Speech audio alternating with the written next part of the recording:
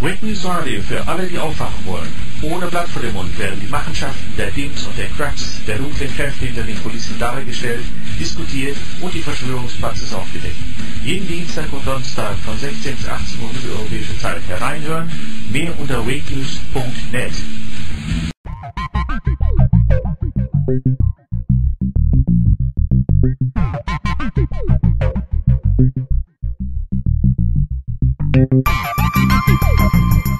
Thank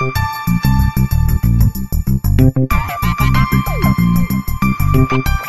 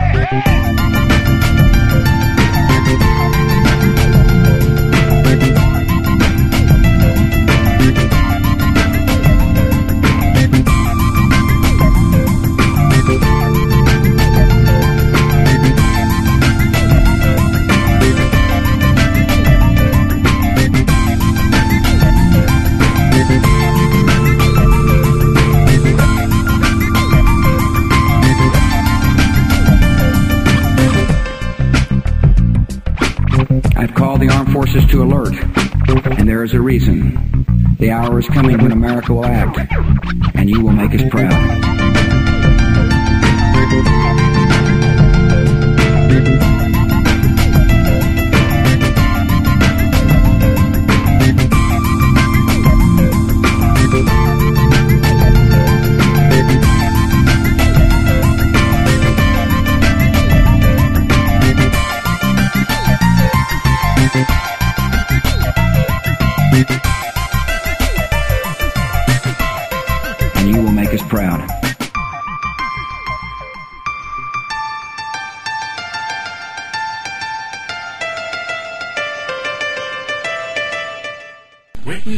Für alle, die aufwachen wollen.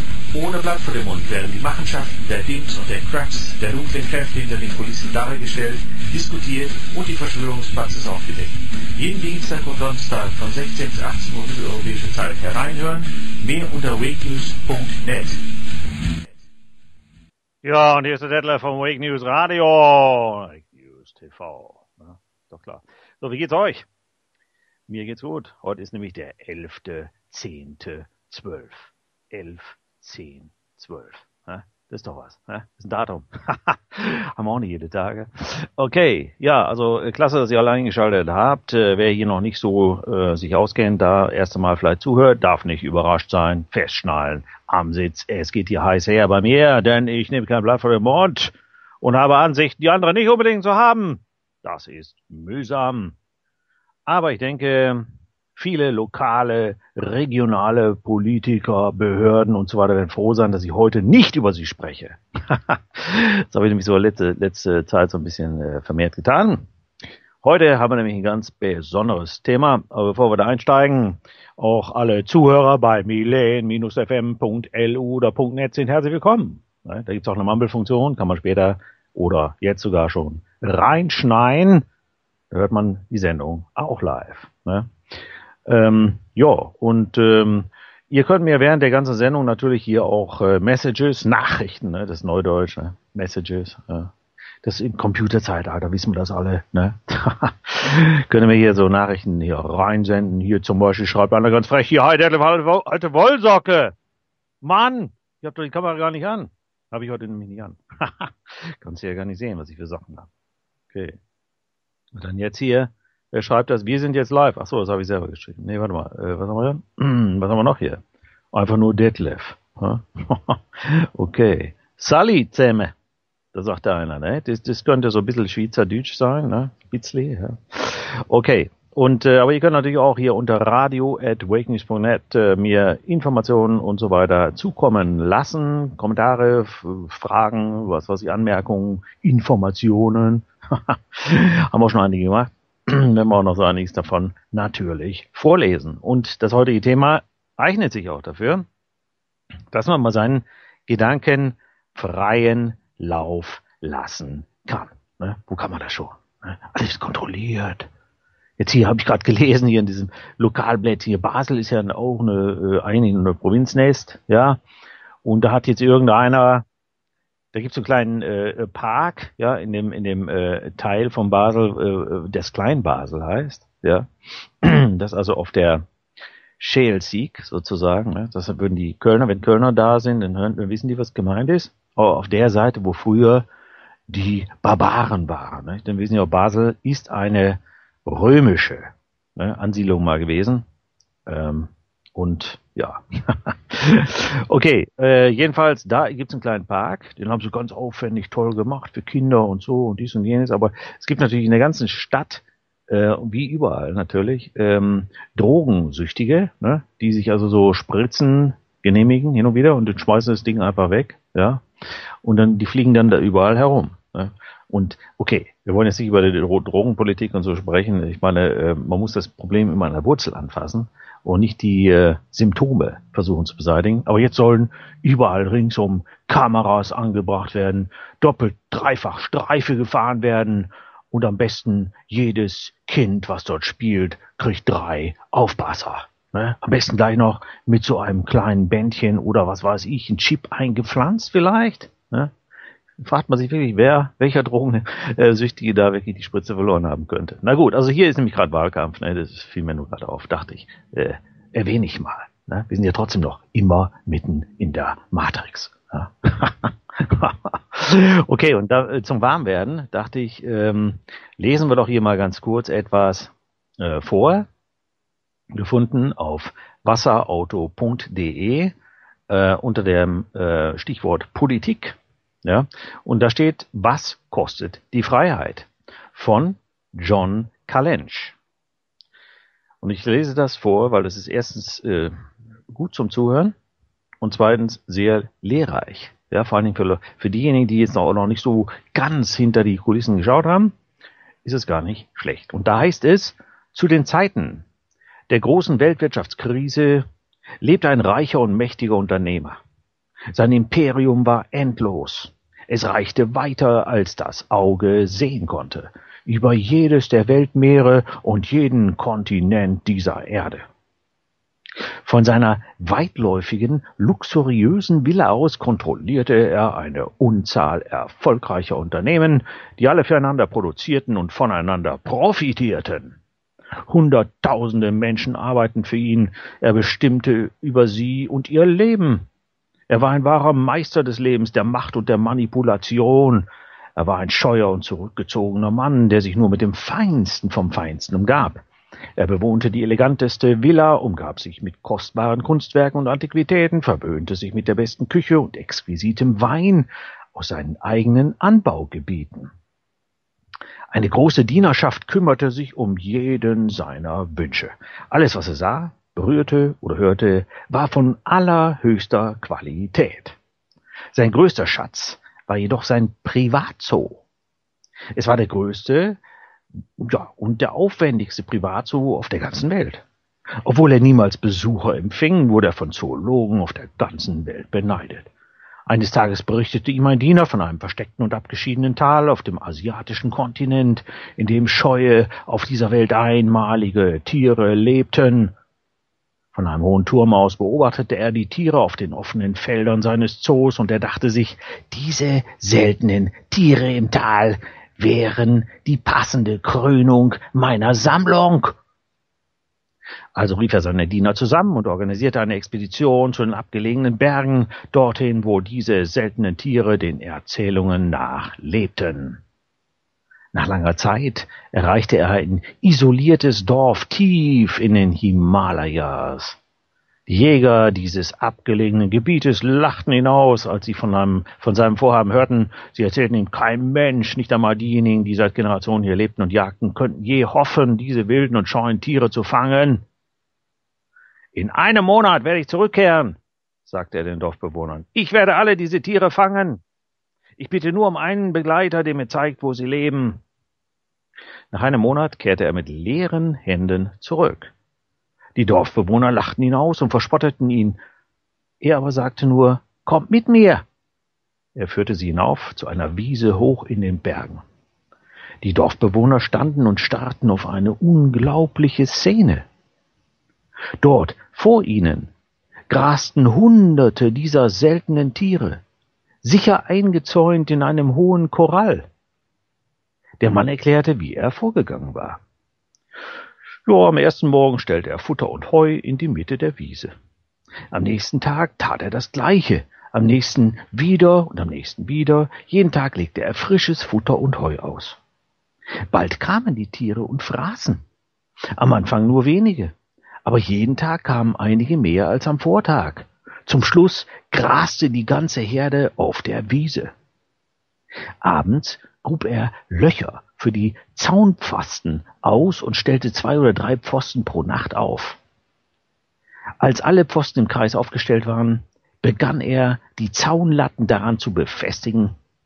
Zunächst befestigte er die bodennahen Latten, damit die Tiere darüber springen und zum Futter und Heu gelangen konnten. Jeden Abend befestigte er neue Latten, und die Wände des Koralls wurden höher und höher. Bald konnten die Tiere nur durch eine kleine Öffnung im Zaun auf die Wiese gelangen. Am Abend des 29. Tages baute er ein Tor. Am letzten Tag des Monats, nachdem alle Tiere durch die schmale Öffnung hindurchgeschlüpft waren, schloss er das Tor. Er hatte die Tiere eingefangen, bevor sie überhaupt begriffen, was geschah. Den erstaunten Dörflern sagte er, ich kann jedes Tier einfangen, indem ich es von mir und meinem Futter abhängig mache. Mit den Menschen ist es dasselbe. Es ist ein fairer Tausch. Ich gebe ihnen Nahrung, sie geben mir dafür ihre Schönheit und Freiheit. Darin liegt die Quelle meines Reichtums und meiner Macht. Ja, das ist das Ende dieser kleinen netten Geschichte. Und ich dachte, die finde ich doch ganz, ganz schön, ja? oder? Denn, ja, also, hm, was hat das jetzt mit unserem hyperdimensionalen Krieg zu tun? Hm? das ist eine gute Frage, gell? Denn das Thema von heute ist, befinden wir uns in einem hyperdimensionalen Krieg? Fragezeichen. Ja, und da habe ich dazu in meinem Blog mywakenews.wordpress.com einen Artikel schon veröffentlicht und da lade ich nachher dann auch das Video zur heutigen Sendung mit hoch. Und da heißt es, immer wieder erscheinen mir und anderen die Dinge, die wir erleben, die uns geschehen, die wir erkennen als irreal und nicht erklärbar. Umso mehr forsche ich danach und versuche Antworten zu finden auf meine vielen Fragen. Viele Antworten sind quasi vorgefertigt, sind schubladenbereit. So könnte man meinen, wenn man sich religiöse Dogmen und Schriften vornimmt, egal aus welcher Richtung. So werden in 2012 Untergangs-, Endzeiten, Situationen vorhergesehen, planetare, weltverändernde Einflüsse durch Planet X, Erderhitzung und daraus folgenden weltweiten Vulkanausbrüchen, Erdbeben voraus vermutet. Auch kann es äh, durch eine Polsprung, Erdkrustenverschiebung zu Kataklysmen bei uns kommen, die wieder eine Spring- oder Sintflut sowie extreme Temperatursprünge mit verheerenden Auswirkungen auf das Leben auf unserem Planeten kommen, wie es in der Vergangenheit unserer Erde schon vielfach geschehen ist. Ja, und über das und vieles andere wurde bei Wake News auch schon häufig gesprochen, diskutiert und Ratschläge, sich auf irgendwelche Katastrophen vorzubereiten, auch wenn es nur eine Finanzkatastrophe ist, dürfte sicher jedem einleuchtend klar sein, das ist nie verkehrt und das sollte in jedem Fall jeder so tun, soweit er es kann. Aber, und so heißt es weiter in dem Artikel, weder ich noch viele andere haben bislang den Planeten X gesehen. Ähm, abgesehen ist mal von den Fotos und den Filmen, ja, die man zu sehen bekommt. Also ich habe es noch nicht gesehen. Ähm, und die entstandenen Katastrophen bislang waren noch nicht absolut so äh, gravierend, dass das Leben in irgendwelchen großen Massen beeinträchtigt wurde, ne, wie man es eigentlich hätte schon längst erwarten können. Dennoch, und das spüren wir alle, vor allem diejenigen, die sich mit diesen Themen befassen, liegt etwas in der Luft. Unsere Sinne lassen uns das spüren. Ja, und aus dem Grund möchte ich heute mit euch einige Informationen und Gedanken teilen und darüber diskutieren im Laufe dieser heutigen Sendung. Und wer mir dazu eben, wie gesagt, schon etwas zusenden will oder Fragen stellen will oder Informationen geben möchte, kann das tun unter radio at wakenews.net oder auch gerne im Chat. Wobei im Chat, wie gesagt, äh, die äh, Informationsfülle nicht so einfach für mich ist äh, zu vorzulesen. So, ja, ähm, also jetzt ähm, hatte ich heute dieses Thema gewählt aus dem Grund, weil äh, ja ich habe also ganz viel Informationen aufgesaugt in den letzten Tagen, würde ich sagen, über das, was möglicherweise passiert oder das, was möglicherweise passieren wird. Und äh, ja, da muss man natürlich jetzt erstmal schlucken. Und hier steht zurecht, heftiges Thema. Wo anfangen? ja, ähm, alles klar. Ja, das ist so. Ähm, wir kriegen ja ganz viele Informationen und sehr viele wissen auch anscheinend ganz genau, was läuft. Ne? Bin ich auch manchmal sehr überrascht. Ich kriege ja so manchmal Informationen, ja, wieso, das ist doch so, das läuft dann so und so und so ab. Ja, egal aus welcher Ecke. Ich kriege das aus verschiedensten ähm, Richtungen äh, gesagt und getan. Und eine Weile lang hatte ich auch äh, das Gefühl, dass es einem gewissen Schema folgt. Ja, ich denke an diese Elenin-Geschichte, da haben wir sehr intensiv darüber diskutiert, in den letzten Jahres vor allen Dingen als Vorbote des Planet X äh, oder so. Ja, übrigens. Und ähm, ich habe also die Links der meisten Dinge, die wir jetzt hier auch heute besprechen, sofern, sofern ich äh, das vollständig habe, sonst führe ich es noch äh, später an oder reiche es nach, ähm, habe ich natürlich auch ähm, beispielsweise die, ja, eine recht neue Information, soll vom 4.10. stammen, dass nämlich heute äh, Abend ab 23 Uhr und ein paar zerquetschte eine Live-Show stattfindet, wo wir also den ähm, Asteroiden 2012 TC4, der so groß sein soll wie ein zehnstöckiges Haus, live erleben können, wie er denn da herumfliegt. Ne? Die haben ja da ihre Spezialkamera, äh, wo sie das filmen. Ne? Und da habe ich also einen Link. Da könnt ihr, wer Lust hat, später dann da direkt draufgehen dann kann man das eben mit verfolgen. Also mit verfolgen kann man das. Ja, was mir also aufgefallen ist. Die Virendatenbank wurde aktualisiert. Und äh, aus dem Grund wollte ich eben ähm, darauf eingehen, dass nämlich, ähm, wie soll ich sagen, es ganz wichtig ist zu erfahren, dass äh, auch etablierte in den in der neuen Medienszene, wie zum Beispiel bei Infowars.com ja, oder Prison Planet äh, TV.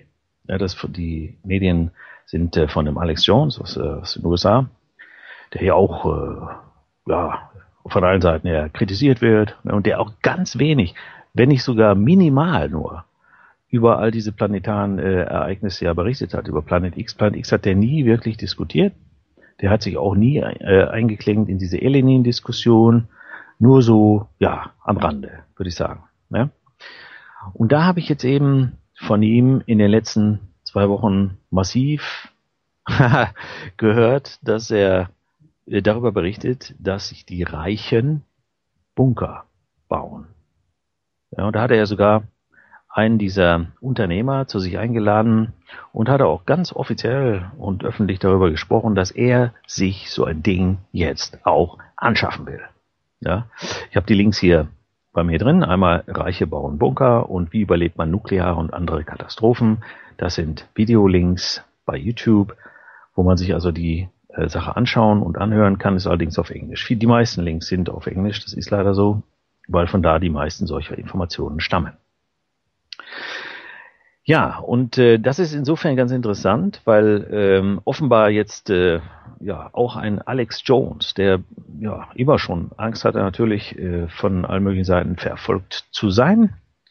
Das ist ja auch, äh, hat ja auch äh, ein riesengroßes Medium aufgebaut und erreicht ja Millionen von Leuten jeden Tag, wo er Sendung macht. Ich glaube, der hat zweistellige Millionen äh, Zuhörerschaften ja, pro Tag ja, weltweit.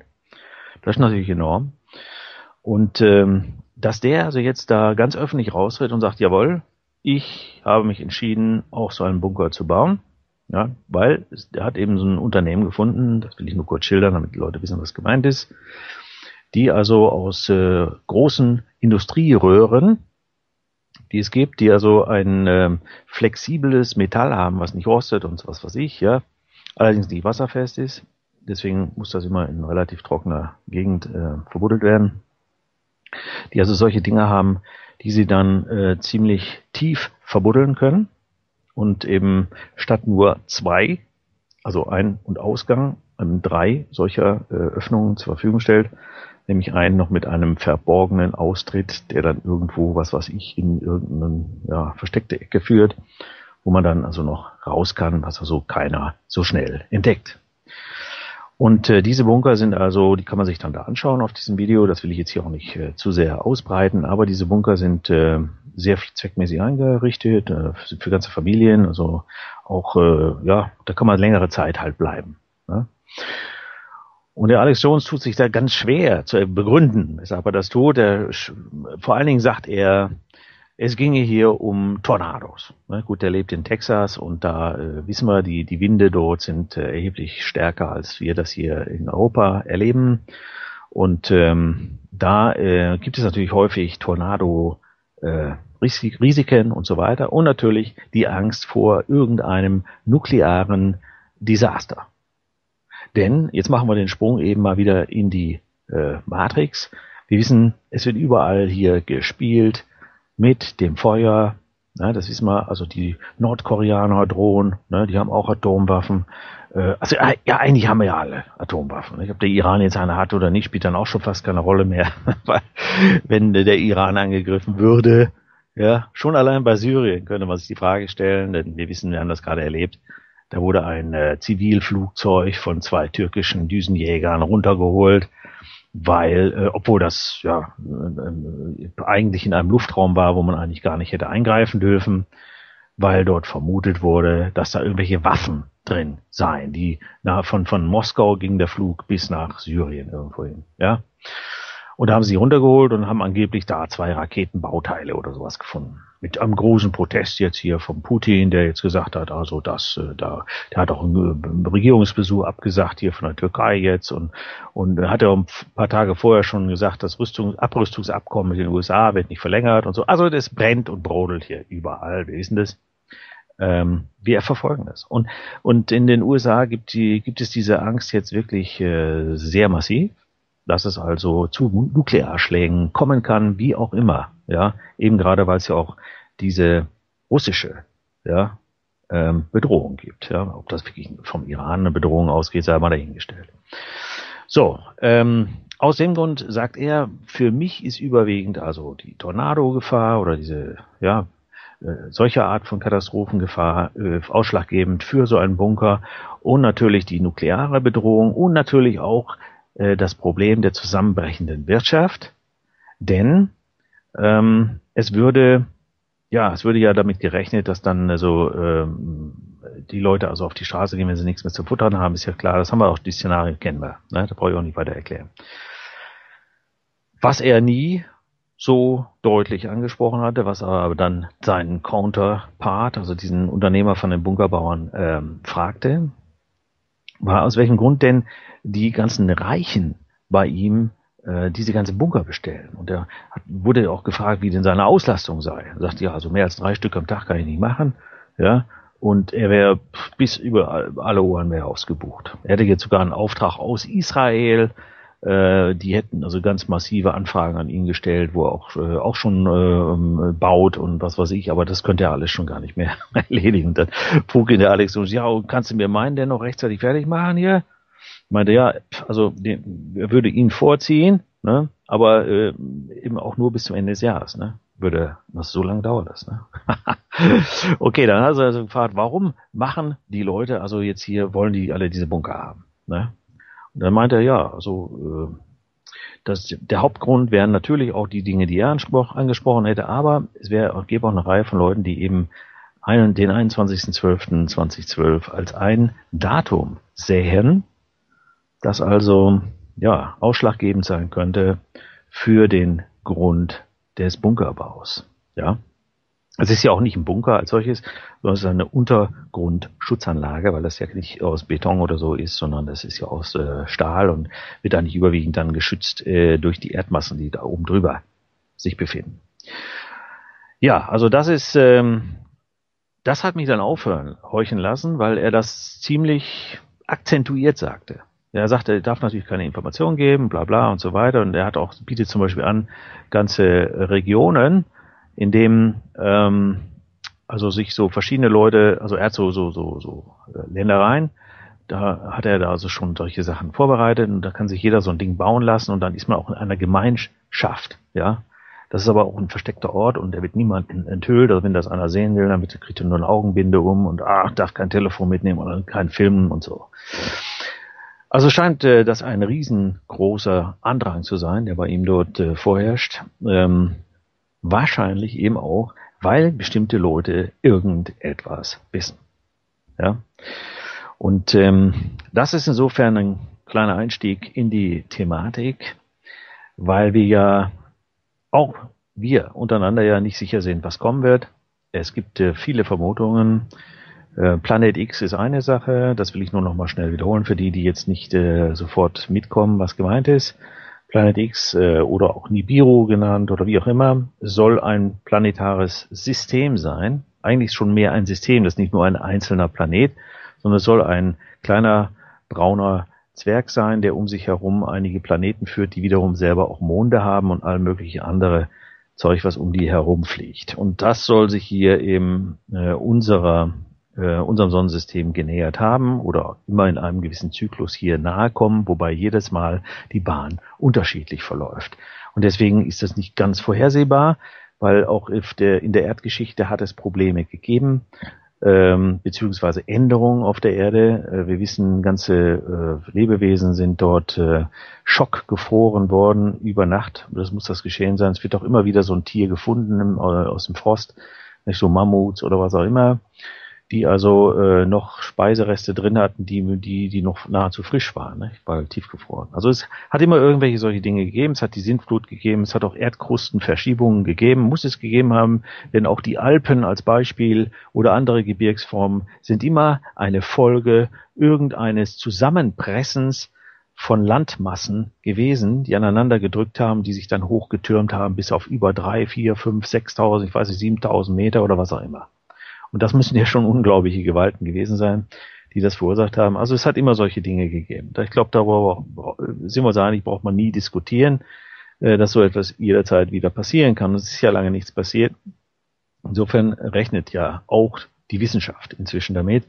Ich äh, erwähnte es auch bei der letzten Sendung, dass mit dieser äh, Pol, ähm, Magnetpolverschiebung auf jeden Fall gerechnet wird, was auch schon katastrophale ähm, Auswirkungen haben wird, äh, vielleicht auch sogar schon hat, weil es ja auch schon äh, festzustellen ist, nämlich auf den Orientierungssinn eben von Lebewesen, vor allen Dingen Vögeln, also Tiere, die sich überwiegend nach dem Magnetfeld ausrichten und so weiter. Ja, aber auch in der Kommunikation, äh, da wurden ja ganze Landebahnen und was weiß ich, wurden verändert in ihrer ähm, Ausrichtung, weil sich eben da ständig auch diese Magnetrichtung verändert. So, das nur noch mal so als Einstieg, äh, auch für euch, äh, damit ihr, vor allem die, die jetzt vielleicht das erste Mal mit dieser äh, Diskussion da in Berührung kommen, ähm, dann so ein bisschen äh, den Anschluss finden. Denn viele, die jetzt natürlich schon regelmäßig bei mir zuhören oder zugehört haben, wissen ja, dass ich mich auch mit diesem Thema beschäftige. Ne? Das ist ein bisschen etwas anders, als ich das letzte Mal diskutiert habe. Deswegen könnte ja sein, dass einer zuhört, der sagt, äh, äh ich dachte, es geht hier um Bürgermeisteramt oder also das ist, äh, ich, ich versuche und ich habe immer schon mal wieder hier so, so, eine, ähm, so einen Hinweis von meinen Hörern bekommen, Mensch, hier, äh, sieh doch das große Ganze, es geht um was ganz anderes, als hier um irgendwelche Schickimicki-Geschichtchen hier oder Rechtsfragen in, oder äh, Machtdemonstrationen für irgendwelchen kleinen äh, äh, Behördenfuzis oder sonst was. Ja, äh, natürlich. Es ist ähm, ganzheitlich zu sehen und das habe ich eigentlich auch in meinen Sendungen betont, dass ich das versuche aber es ist eben nicht äh, sehr einfach, ähm, klar zu sagen, was das große Ganze ist, als eben äh, zu versuchen, sich daran zu tasten. Und äh, ich bin eben kein Dogmatiker, ich glaube nicht irgendeiner ganz bestimmten Richtung. Ja, äh, es ist für Leute sehr einfach, die zum Beispiel Christen sind und die einfach absolut an die Bibel glauben, was da drin steht und so weiter und nichts groß anderes zulassen in ihrem Denkschema oder oder Islam oder irgendeine andere Religion oder Judentum oder ja, ihr wisst, was ich meine. Das bin ich eben nicht. Ich habe keine kein Dogma. Ich bin äh, nicht festgelegt auf irgendeine Sichtweise, nur so wird's gehen. Sondern ich stelle mich immer auch wieder selbst in Frage und äh, gerade wenn mir Informationen zugespielt werden, die mir wieder auch eine andere äh, Sichtweise geben oder neue Impulse geben, dann, ähm, dann versuche ich die mit einzubauen in die, in die, in die Sache, um, um da eben ähm, ja, zu versuchen, noch näher an die echte Wahrheit heranzukommen. Vielleicht gibt's ja auch mehrere Wahrheiten, ne? wir wissen es ja nicht, gell? Ähm, und ja, und aus eben aus dem Grund ähm, hatte ich äh, mir jetzt einige Videos angeschaut, äh, und zwar von einem Herrn Dr. Phil Valentine.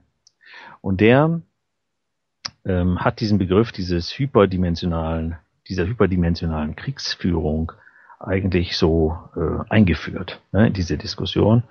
Dort heißt es auf Englisch Hyperdimensional Warfare. Und da mich das beschäftigt hat und ich ähm, einige ganz ähm, sinnvolle Informationen daraus entnommen habe, so denke ich, wollte ich die heute mal mit euch teilen. Weil viele Dinge, die wir ja auch tagtäglich erleben, haben ja damit zu tun. Was heißt hyperdimensional eigentlich? Ja, hyper, also dimensional heißt, dass es also in verschiedenen ähm, ja, Dimensionen stattfindet. Ja, wir wissen, wir leben in der dritten Dimension, die wir wahrnehmen, ja, das körperlich sein, ähm, aber schon viele andere Dimensionen kriegen wir ja nicht mehr mit. Und hyperdimensional heißt also, dass es mehr dimensional stattfindet. Also da kann man daraus schließen, dass es auch noch äh, Dimensionen beinhaltet, die wir gar nicht so direkt wahrnehmen können. Und dass ähm, es um eine Kriegsführung sich handelt, das wissen wir natürlich auch schon selbst, ähm, auch schon aus der menschlichen Geschichte heraus, aus der Kulturgeschichte, dass es diese Kämpfe zwischen Göttern nicht, oder so äh, immer schon gegeben hat äh, auch zwischen Göttern und Menschen und äh, und so weiter. Auch Götter gegen Götter in Anführungszeichen. Ja, äh, ob das jetzt äh, aus früheren Überlieferungen ist, ähm, aus der babylonischen Zeit noch oder aus äh, Indien mit den Veden, vedischen Schriften oder auch in der Bibel wird einiges geschildert oder in der griechischen Geschichte. Also überall taucht das auf und natürlich auch in anderen Regionen. Und das ist auch nicht die, ähm, der Schwerpunkt, den wir hier setzen, weil das setze ich mal als mehr oder weniger bekannt voraus. Das heißt, ähm, die äh, Mehrdimensionalität wissen wir, dass, sie, dass es sie gibt. Es ist ja auch wissenschaftlich schon bewiesen, ja, physikalisch, wenn man so will ist es ja auch schon von Wissenschaftlern zugegeben, dass es mehr Dimensionen gibt als nur die drei, die wir äh, wahrnehmen können in dem Sinne. Also auch das ist keine Diskussion, dass es mehr Dimensionen gibt. Jetzt kann man fragen, Krieg. Ja, warum Krieg? Und jetzt möchte ich nochmal eben zurückkommen auf die Gedanken dieses äh, Dr. Phil Valentine. Äh, die Links habe ich auch übrigens dann bei, my, bei mir gepostet bei myawakeness.wordpress.com bei dem entsprechenden Artikel unten.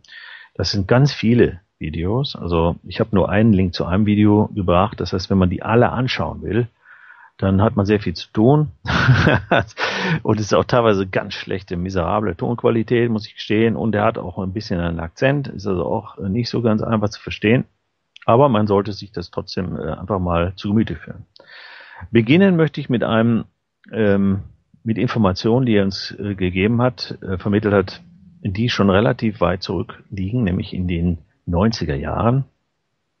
Der ist also schon lange aktiv in der Beziehung. Und da hat er uns äh, näher gebracht, äh, etwas, was ich natürlich damals auch nicht mitgekriegt habe. Er ist jetzt äh, eben mir über die ähm, über den Schreibtisch gelaufen sozusagen, dass er uns erklärt hat, was es eigentlich auch mit den Chemtrails zu tun hat. Denn wir wissen, die Chemtrails gibt's nicht erst seit gestern, die gibt's auch nicht erst seit ein paar Jahren, die, die laufen schon eine ganze Weile. Ja? Und wir wissen auch, dass die Genwissenschaft schon eine ganze Weile aktiv ist. Ja? Wenn wir jetzt nochmal einen ganz kleinen Sprung machen in die Geschichte, dann kann man zum Beispiel erkennen bei den Ausgrabungen oder den Fundorten der ägyptischen äh, oder anderen Orten, die so in dieser Zeit lagen, dass dort beispielsweise ja ähm, Abbildungen, Statuen und so weiter gefunden wurden mit äh, menschlichen Köpfen, ja, und äh, Tierkörpern oder umgekehrt ähm, menschliche Körper mit Tierköpfen, ja. Und dann wird uns natürlich von der einschlägigen Wissenschaft immer erklärt, naja, das sind das nur Fabelwesen und das hat eigentlich nicht wirklich was damit zu tun und so weiter. Es gibt viele, viele Quellen, die das eigentlich anders sehen. Und auch der Phil Valentine hat gesagt, dass, und er erklärte auch nochmal dieses ähm, Maya-Zeitrad, ja, ähm, das ja in 2012 äh, zu dem Zeitpunkt, der, den wir auf den 21.12.2012 irgendwie ja, festgestellt haben, ja eine neue Zeit beginnt.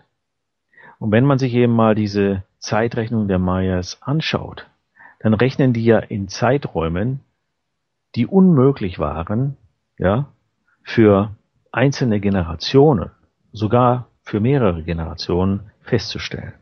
Denn die rechnen ja teilweise mit, äh, mit Zeiträumen, die, die, was weiß ich, 80 oder 90 Milliarden Tage ausmachten. Ja, und ein paar zerquetschte. Das kann man wohl kaum innerhalb von einer ja, Generation, sagen wir mal, von 500, 600 Jahren feststellen. Ne? Also muss es irgendwie einen Hinweis darauf geben, dass die Menschheit als solches älter ist als das, was man uns immer glauben macht, äh, dass sie ist. Denn man hat ja auch äh, Funde ähm, festgestellt von Fußabdrücken neben den Abdrücken von Dinosauriern, die angeblich ja auch Millionen Jahre schon nicht mehr leben sollten. Ne? Also wie ist da ein Fußabdruck genau daneben oder in der Nähe entstanden? Ja, man kann ja auch dann die die Zeit äh, feststellen, wann dieser Abdruck gemacht worden sein muss. Muss nämlich etwa zur gleichen Zeit passiert sein. Ne? Das geht sonst nicht anders. So, ähm, also es, es ist ganz einfach zu beweisen, auch aufgrund eben dieser Zeitrechnung der Mayas, dass es eben also eine, ein, ein Menschendasein gegeben haben muss, lange bevor wir das offiziell hier in unseren äh, ja, wissenschaftlichen Untersuchungen zugeben. Und auch das ist für uns jetzt keine Überraschung. Wir wissen das, wir gehen auch davon aus. Das heißt, wenn man diese Überlegung macht, dann muss eigentlich der Mensch, ja, in der oder jener Form, ähm, schon ewig da sein. Ja? Also zumindest ziemlich lange schon irgendwie existiert haben. Die Frage ist, ob wir wirklich von hier kommen oder ob wir von irgendwo hier ähm, herversetzt wurden, ob das materiell geschehen ist oder ob wir eine Saat sind oder äh, ob wir uns selber hierher transferiert haben. Das äh, sei dahingestellt. Auch das diskutiert er natürlich und er hat eine gewisse Sichtweise und ich, ich stelle das hier so dar aus der Brille des Dr. Phil Valentine. Das, was ich sage, jetzt, äh, indem ich seine äh, Vorträge analysiere und zusammenfasse. Nicht? Ich kann, das sind ja zig Stunden von, ähm, von äh, Vorträgen mit unglaublicher Vielfalt und sehr viel Detail. Das kann ich natürlich hier nicht wiederbringen, aber ich will es zusammenfassen, so wie ich es ähm, ähm, für mich äh, analysiert habe und das Fazit daraus ziehen. Das heißt also, und jetzt mache ich nochmal einen Sprung, für viele nicht so ganz einfach, vielleicht dem nachzufolgen aus der dritten Dimension weg, ähm, in die Frage Gott, was ist Gott? Ja, und das haben wir auch schon mal in anderen Diskussionen ähm, erörtert, zum Beispiel mit dem ähm, Heinz Biederer oder so, wo es um äh, die Sprache auch ging. Wenn es wirklich so ist, dass es äh, nur das eine gibt, ja, das ich aber selbst nur erleben kann, wenn es vieles ist. Heißt es also, wenn Gott, ich sage das mal jetzt als Vereinfachung, wenn, wenn also Gott oder der Schöpfer sich selbst erleben wollte, dann konnte er das nur tun, indem er etwas erschafft, was ich selbst beobachten kann.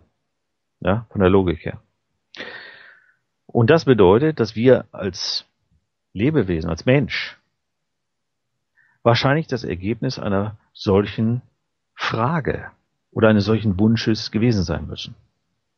Ja, das kann genauso auf die Pflanzen, Tiere und auf irgendwie alles vielleicht übertragen werden. Aber bleiben wir mal beim Menschen, um es einfach zu halten. Das heißt ja, dass wir alle in uns selbst ähm, auch Teil Gottes sind. Weil ich denke, da sind wir auch nicht ganz ganz voneinander entfernt. Es gibt natürlich jetzt äh, die Religionen, die sagen, nein, also ich bin der Mensch und das Gott ist was ganz anderes. Aber ich denke, wir können schon so weit kommen, dass wir sagen, es gibt also äh, irgendwo einen Ursprung, das eine, ja, sagen wir so, das ich eben erleben wollte und deswegen die Schöpfung begann in Form von, ja, jetzt muss ich mich auch betrachten können, sonst weiß ich ja gar nicht, was ich selber bin, ja, oder wie ich aussehe. Und ich möchte das in verschiedensten Varianten fühlen und schmecken und sehen ja, und erleben. Und deshalb eben alles das entstanden sein könnte. Ich sage das ja auch als könnte, weil ich es ja nicht weiß. Ich gebe nur jetzt so die Gedanken auch wieder weiter von dem Dr. Phil Valentine. Wenn das so ist, dann haben wir also irgendwie eine urlange Geschichte, wenn wir es auch zeitlich sehen wollen. Ja, jetzt kann man natürlich die Diskussion führen über Zeit. Was ist Zeit? Ähm, okay. Ja, weiß ich nicht. Aber jetzt macht er eben in den Sprung ähm, er wollte eben die Schöpfung, der Schöpfer. Bleiben wir mal bei dem Begriff der Schöpfer, ist einfach. Oder das eine, ja, wollte aber jetzt nicht nur das Schöne, es wollte auch das Schlimme oder das Böse oder das Schlechte, wie immer. Denn nur, wenn man die Gegensätze hat, kann man ja überhaupt auch das eine oder andere wertschätzen. Das heißt auch, dass Böse oder das Schlechte muss ein Ergebnis eben dieses Schöpfungsprozesses gewesen sein. Jetzt gibt es natürlich die Frage, ähm,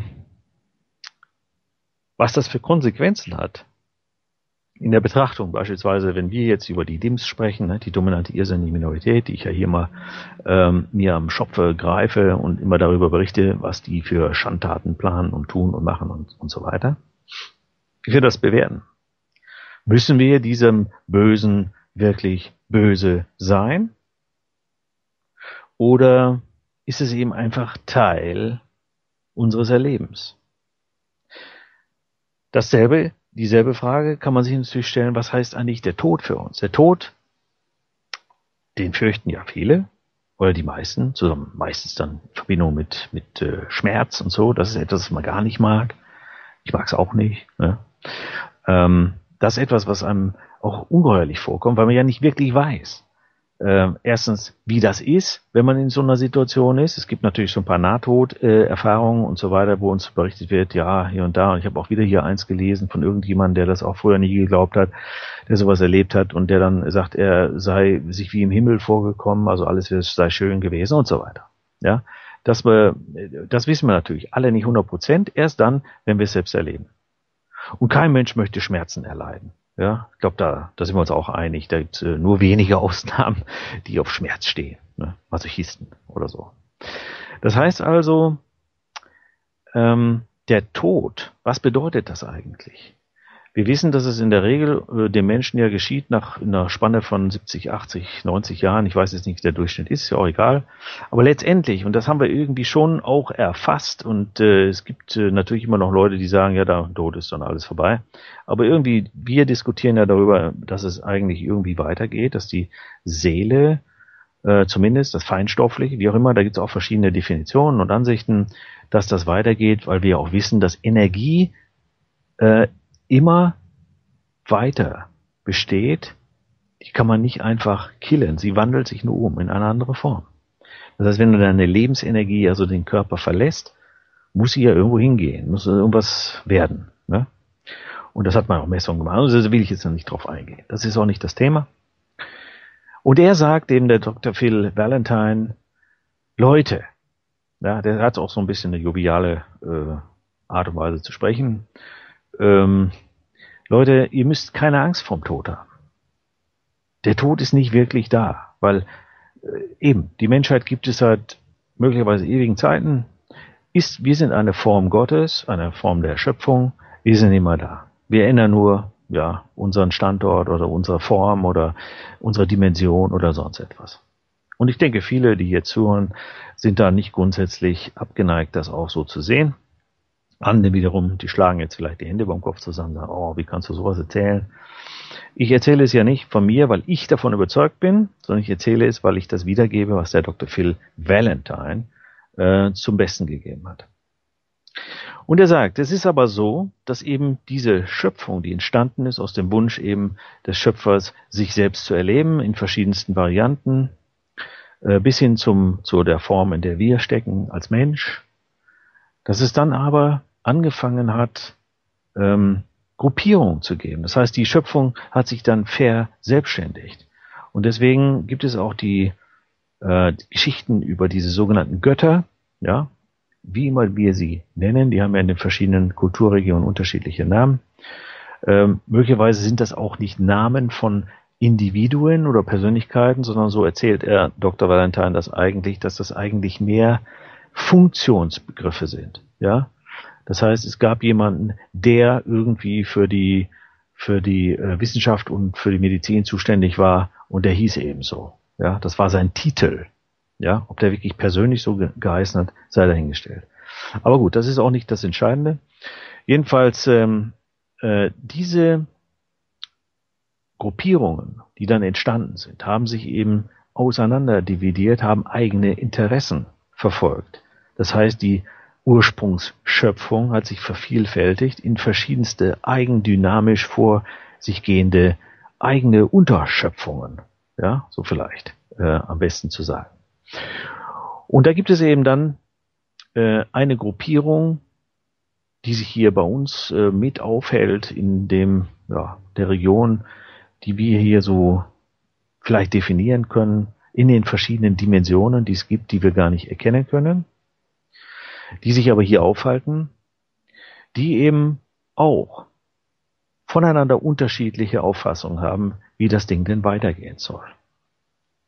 Jedenfalls das ursprüngliche, die Idee ist gewesen, ja, dass es dieses, ja, sagen wir, männliche und weibliche Prinzip gibt, dieses Yin und Yang, was sich anzieht, ja, was auch Leben schöpft, ja, dass dies eigentlich im Moment von einer Gruppierung die äh, ja dieser Ursprungsschöpfungsgedanken äh, entsprechend ähm, anders vorgehend, dass die da eingreifen und das abändern. Denn mit der Absicht. Denn ähm, da wir als Menschen, als Seele Teil des Ganzen sind und durch unser, ja, wie soll ich sagen, wieder in den Kreislauf zurückkehrend, nachdem wir zum Beispiel als Menschen irgendwie einen Zeitraum erlebt haben, eigentlich wieder zurückgehen, ja, in den Ursprung, um dann irgendwo wieder, was weiß ich, woanders, irgendwas anderes erleben sollen oder können oder wollen, wollen die das unterbinden. Sie wollen diesen, diesen Wiedereintritt in den Ursprung verhindern. Warum auch immer. Ja, das weiß ich nicht. Das weiß dieser Dr. Phil Valentine auch nicht. Das sind alles Vermutungen. Das kann Machtfragen sein. Das können einfach äh, Dinge sein, die uns vielleicht auch unerklärlich sind. Das weiß ich nicht. Aber die haben eben angefangen, die Macht über die meisten Menschen ja, in dieser, also Schöpfung in dieser Form, zu, äh, zu erlangen, indem sie zunächst mal ihre Gedanken kontrollieren. Und da bringt er ein ganz interessantes Beispiel, nämlich geht zurück auf Adam und Eva, diese Bibelgeschichte, die es in ähnlicher Form auch, glaube ich, in anderen Religionen gibt.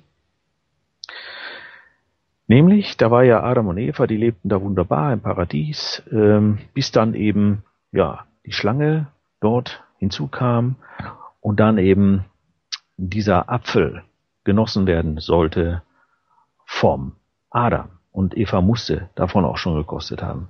Das heißt, diese sogenannte Verführung führte dazu, dass sie Dinge erkannten, diese Adam und Eva, die ihnen vorher nicht zugänglich waren. Was heißt vorher nicht zugänglich waren? Sie lebten also in einer geschlossenen Welt, man so will, in einem geschlossenen von mir aus in einer geschlossenen Matrix. Ja? Und du weißt, und wir wissen das, äh, das erleben wir ja jeden Tag, wenn du in einem Denkschema gefangen bist und äh, dir erklärt wird, wie das Leben zu laufen hat und du einfach dann da drin marschierst und äh, operierst und so, dann kommt dir überhaupt nicht der Gedanke, dass alles anders sein könnte. Das ist ja auch die Problematik, mit der wir es tagtäglich zu tun haben. Oder? Das heißt, und das ist sein Bezug. Er nimmt an, dass eben, ja, er nennt es Luzifer, ja, Luzifer in Form der Schlange, diese beiden Wesen, diese beiden Menschen verführt hat, aus ihrer Matrix herauszuschauen. Um mit einmal zu erkennen, dass das oder worin sie leben, eigentlich ja gar nicht alles das ist, was es gibt. Er hat ihn also quasi verführt, Gedanken anzunehmen, die dort vorher nicht gewünscht und erlaubt waren. Seitens des Schöpfers, der dort zuständig war. Und dann fing eigentlich diese menschliche Schicksalsgeschichte an. Möglicherweise ist eben dann auch unsere Situation zurückzuführen bis auf eben diesen Moment, wo das damals geschah.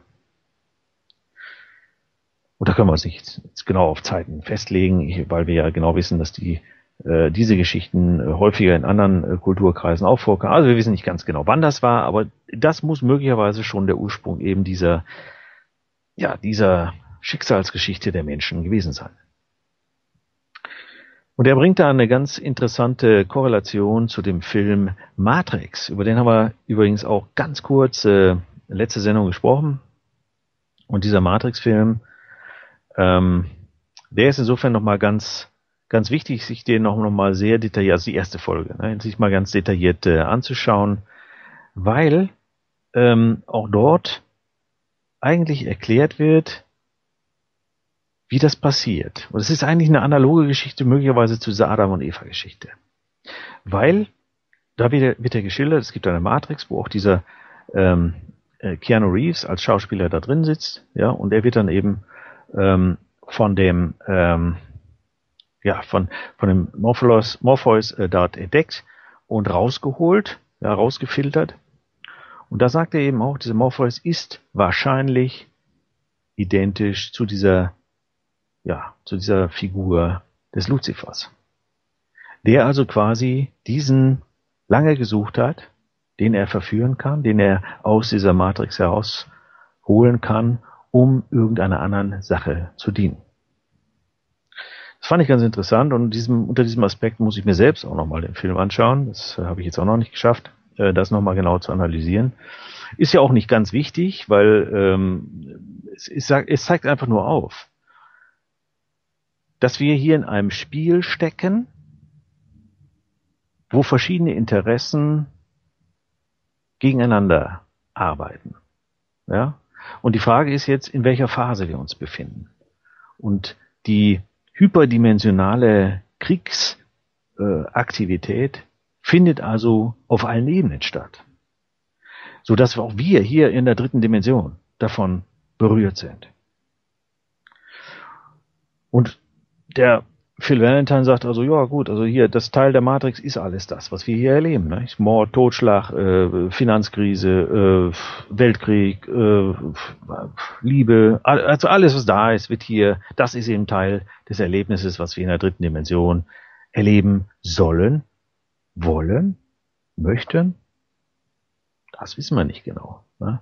Denn wenn das jeder wüsste, der hier auf die Welt kommt, was seine eigentliche Erfahrung ist, äh, wäre das ja interessant. Er sagt auf jeden Fall, dass jedes Mal, wenn du verstirbst, also wenn du als Mensch verstirbst, kriegst du einen Stempel auf deine Seele und diesen Stempel oder Eintrag oder ja, diese Speicherung, die nimmst du mit bis zu deinem nächsten Erlebnis, was du, ja, was du machen oder haben sollst, haben willst. Und deswegen sei es eben wichtig zu wissen, ähm, oder vielleicht auch darauf Einfluss zu nehmen, wie man stirbt, ja, dass man sich nicht leichtfertig zum Beispiel jetzt irgendwie in den Tod begibt, sondern wenn man sich schon äh, in den Tod begibt, dann so zu sterben, dass man einfach äh, dann auch noch seine Aufgabe erfüllt. Wie immer man das jetzt zu interpretieren hat. Ähm, sei mal dahingestellt, will ich auch nicht diskutieren. Weil das ist ja ein sehr komplexes Thema, also wir müssen uns irgendwie versuchen, äh, mal ranzutasten an diese Frage, ob wir uns in einem hyperdimensionalen Krieg befinden. Und darauf möchte ich zurückkommen, denn diese sogenannte dunkle Macht, nennen wir sie mal dunkle Macht, die also nicht möchte, dass das, äh, dass die Seelen wieder in ihren Ursprung zurückfinden, versuchen also Einfluss zu nehmen darauf, welchen Stempel die Seele bekommt, bevor du verstirbst ja, in deiner menschlichen Form. So, und wenn man, und er erklärt das so, wenn man also versucht zu definieren, ja, was ist, wo ist die Seele eigentlich? Dann sagt er, schaut euch doch mal diese Nervenstränge an, die wir alle haben, ja, ähm, unter Mikroskop oder wie auch immer. Ja, das kann natürlich jetzt nicht jeder machen, aber man kann das äh, sich vorstellen. Diese Nerven, die verzweigen sich unglaublich, so wie Wurzeln von Bäumen unter der Erde und führen irgendwo hin und mit einmal sind, ja, weiß man gar nicht, wo die alle hinführen. Und er meint eben, dass am Ende dieser Nervenstränge, die dann also in ein Nichts äh, übergehen, dass da die Seele sitzen würde. Das heißt, ähm, durch, den, durch die menschliche Konstruktion, wie wir konstruiert sind, wird also dieser Seele auch diese Information zugeleitet, die sie haben soll für ihren Erfahrungswert in einer nächsten Phase des, der Existenz. Ja, sagen wir es mal aber so. Und das fand ich ganz äh, interessant, weil das hatte ich auch so noch nie gesehen, weil m, die Frage stellt sich ja, was ist die Seele, wo ist die Seele? Und das äh, ist ganz äh, interessant, weil man ja auch äh, irgendwie mal erfassen will, wie kann eine Seele Informationen speichern. Und so wäre es zumindestens auch eine interessante ähm, Sichtweise. Jetzt kommen wir zurück zum hyperdimensionalen Krieg. Wenn es also Wesen gibt, die aus dem Schöpfungsprozess entstanden sind, die dagegen sind, dass ein großer Teil anderer Seelen wieder zurückfindet zur Einheit, weil sie eben nur ihren Weg gehen wollen oder es selbst prägen wollen, umändern wollen, wie auch immer. Müssen sie also verhindern, dass die Informationen, die die Seelen mit sich nehmen bei ihrem Erfahrungstrip, ja, wenn man das so mal will, ähm, müssen sie irgendwie verhindern oder das manipulieren oder abschneiden. Am besten abschneiden, dass gar keine Informationen mehr rausgehen, dass der Stand immer bleibt wie vorher. Ja? Um sie so, diese Seelen möglicherweise zum Untertan zu machen. Das ist jetzt die weitere Überlegung daraus. Nach dem Zweck. Ja?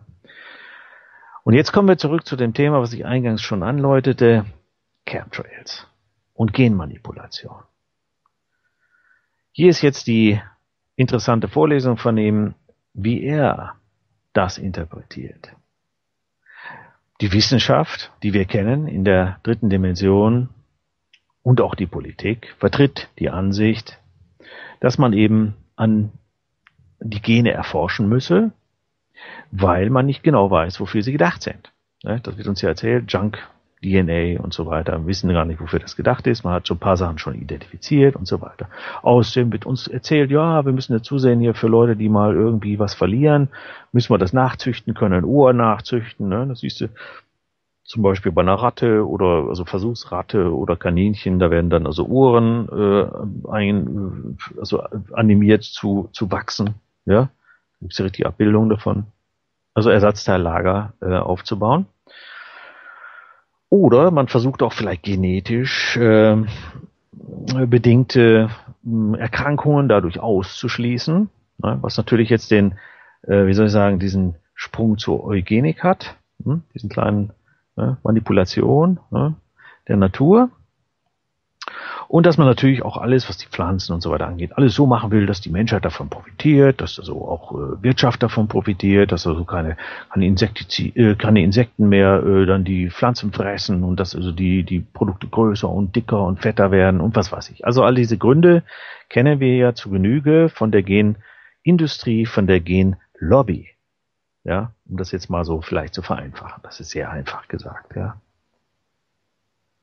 Aber gibt es eben auch noch andere Gründe dafür. Wir haben das eine schon angesprochen, Eugenik. Gibt es vielleicht dahinter die Überlegung, und die Vermutung ist ja sehr stark auch hier unter uns verbreitet, dass eben damit erreicht werden soll, eben ein Großteil der Menschheit auszurotten.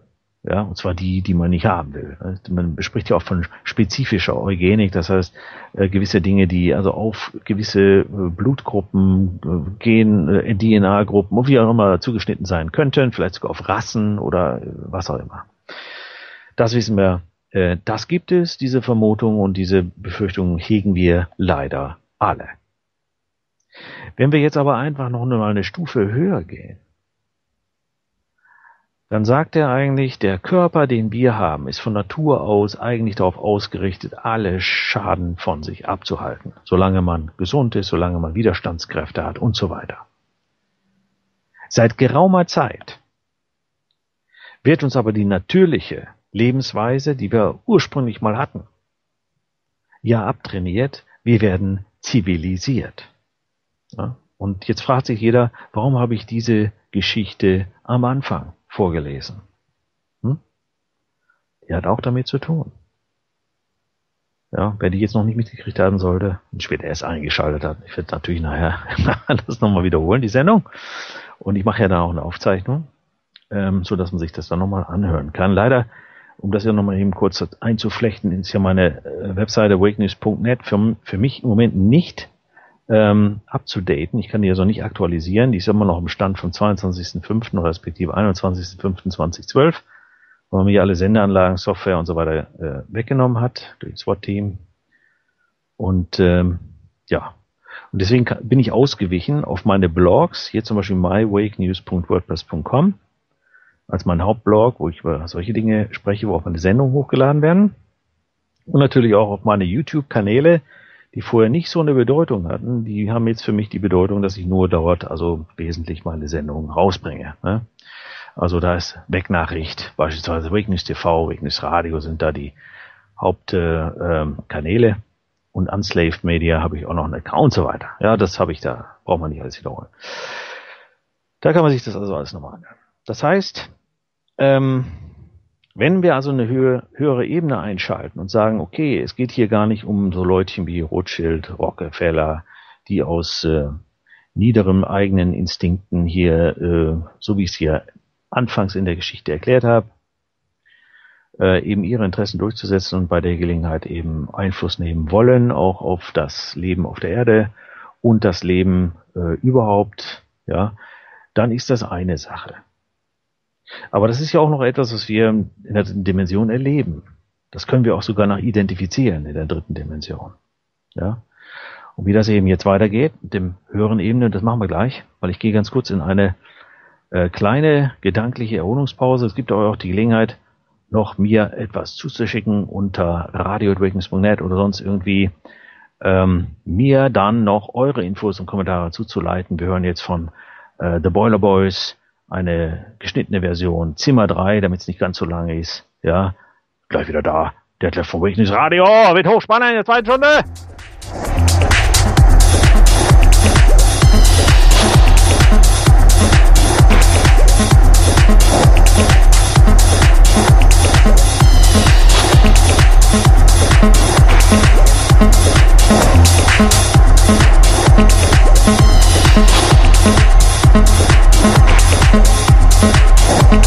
Wake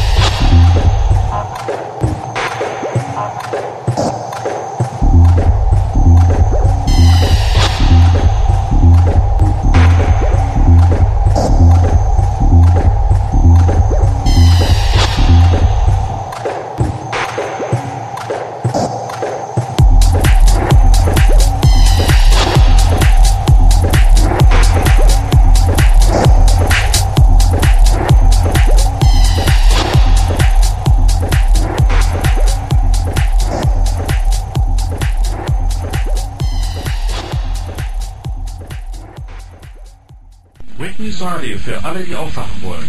Ohne Blatt vor dem Mund werden die Machenschaften der Dims und der Cracks, der dunklen Kräfte hinter den Kulissen dargestellt, diskutiert und die Verschwörungspraxis aufgedeckt. Jeden Dienstag und Donnerstag von 16 bis 18 Uhr mitteleuropäische Zeit hereinhören. Mehr unter wakenews.net. Ja, und hier ist der Detlef vom Wake News Radio. Wir sind in der zweiten Stunde unserer heutigen spannenden Sendung vom 11.10.12. Und in der ersten Stunde hatten wir schon begonnen, einmal so ein bisschen in das Thema einzusteigen, was heute ist. Äh, Das ist nämlich ganz, äh, ja, ein ganz mächtiges Thema. Befinden wir uns in einem hyperdimensionalen Krieg? Ja, und ich habe da schon angefangen, so ein bisschen ähm, in das Thema einzusteigen und ich äh, denke, das werden wir hier in der zweiten Stunde noch ein bisschen vertiefen, um auf den Punkt zu kommen, den ich vermitteln will. Und gerne seid ihr aufgefordert, mir hier äh, auch eure Ansichten, Informationen und so weiter mitzuteilen. Unter radio.awakeness.net geht das einfach. Klasse. Oder ihr könnt natürlich auf dem Chat auch posten. Allerdings muss ich gestehen, da bin ich nicht so schnell hinten dran mit den Informationen wie bei den E-Mails. Ne? Und bevor ich die erste Meldung hier vorlese, nochmal ein Hinweis. Hier ganz klasse, dass die Musiker uns ihr, ihre Musik zur Verfügung stellen. Wir hörten ja ganz zu Anfang vor der Sendung, äh, bevor die richtig startete, den 11. September 2001 von drei Eugen. Jetzt in der Pause eben ähm, hatten wir die Boiler Boys mit Alvin IRB, Zimmer 3, eine geschnittene Version, ne? sonst wäre die zu lang. Ne? Und wir hören nachher noch, sage ich gleich, Kinetic Jane, Kinetic Speed Tape. Ja, und dann, bevor wir dann rausgehen in die Wiederholung, spielen wir vielleicht noch was von der Regenlaune. Ne? Chemtrails, ne? Weiß der Himmel war nicht. Äh, heißer Stück. So, ähm, wird auch mal gerne gehört. Okay, das will ich jetzt nur ganz schnell sagen, habe ich schon hinter mir. Ne? Nee, aber ich finde es klasse. Wir unterstützen Musiker und die können hier immer einfach mal auch ihre Musik reinchecken unter radio.breakings.net, MP3 und dann gucken wir es mal an und spielen es vielleicht. Ne? Klasse. Ja, ähm, wir hatten so ein bisschen geendet mit der Frage, ähm, ja, wenn wir also eine Gruppierung haben hier in der dritten Dimension, die wir die Dims nennen, die ich die Dims nenne, die dominante irrsinnige Minorität, die hier alles unter Kontrolle hat, das Schuldgeldsystem, bla bla, und hier die Matrix-Kontrolleure äh, äh, darstellen, die neue Weltordnung machen und so weiter, muss das ja irgendwie vielleicht auch noch eine Gruppierung darüber geben. Eine andere Variante, denn, okay, bei allem Ernst, wenn du dir die Heinis anschaust, äh, gut, Ne? Aber wie gesagt, Aussehen ist immer so eine Sache.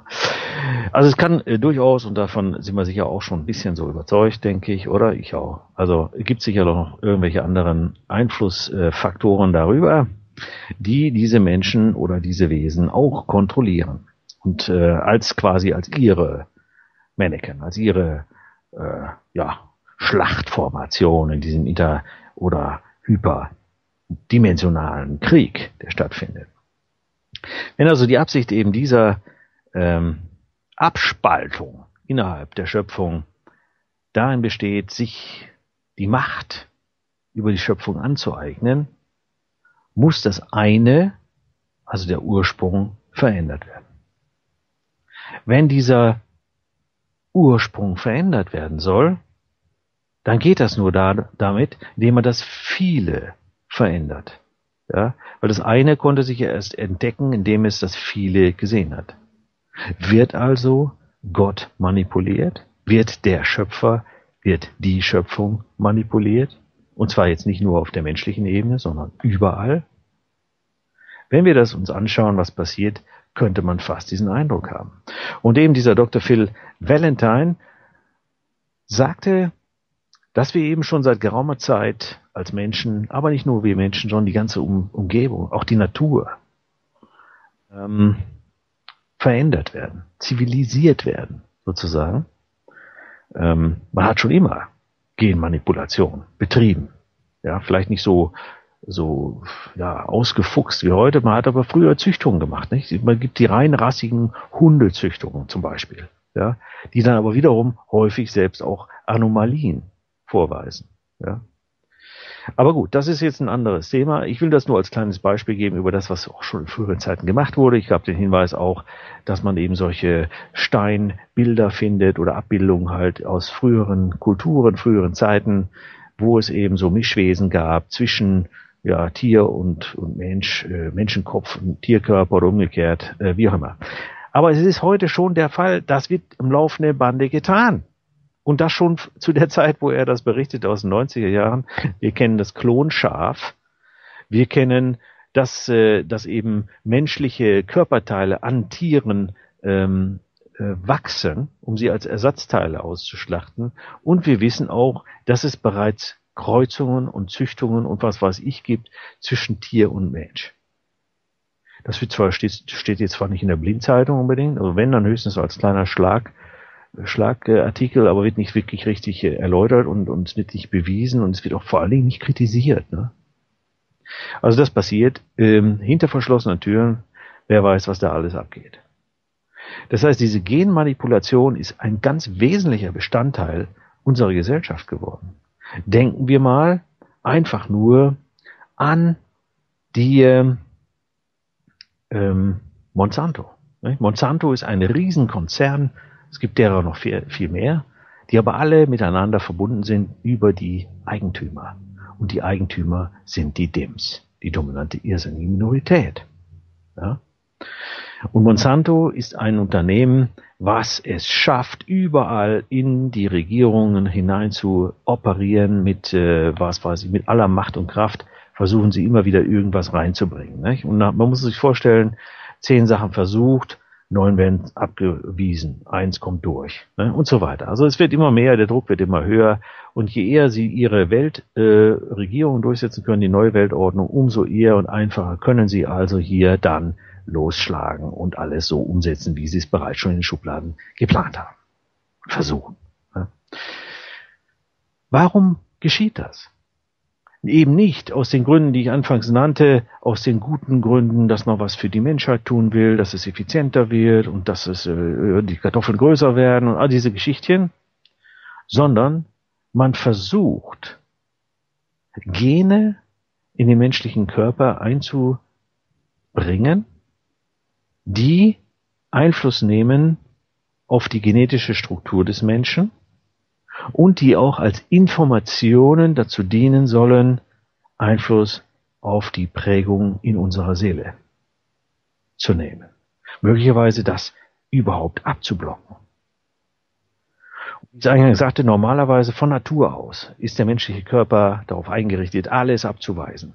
Ja, was ihm fremd vorkommt, was also abgewiesen wird. Aber wenn du andauernd Dinge zuführst, die manipuliert sind, die dir eben, die dafür sorgen sollen, dass sich deine Genstruktur verändert, sei es durch die Nahrungsmittelaufnahme, sei es durch direkte äh, Infus äh, Infusionen oder oder oder äh, Spritzen äh, von irgendwelchen äh, Dingen, die dann in den Blutkreislauf geraten direkt und so weiter und so weiter, bis hin zu dem Ausbringen von Nanopartikeln über die Luft, also über die Lunge, deckst du das Wesentliche ab, um einen massiven Angriff auf die Genstruktur des Menschen nehmen zu können.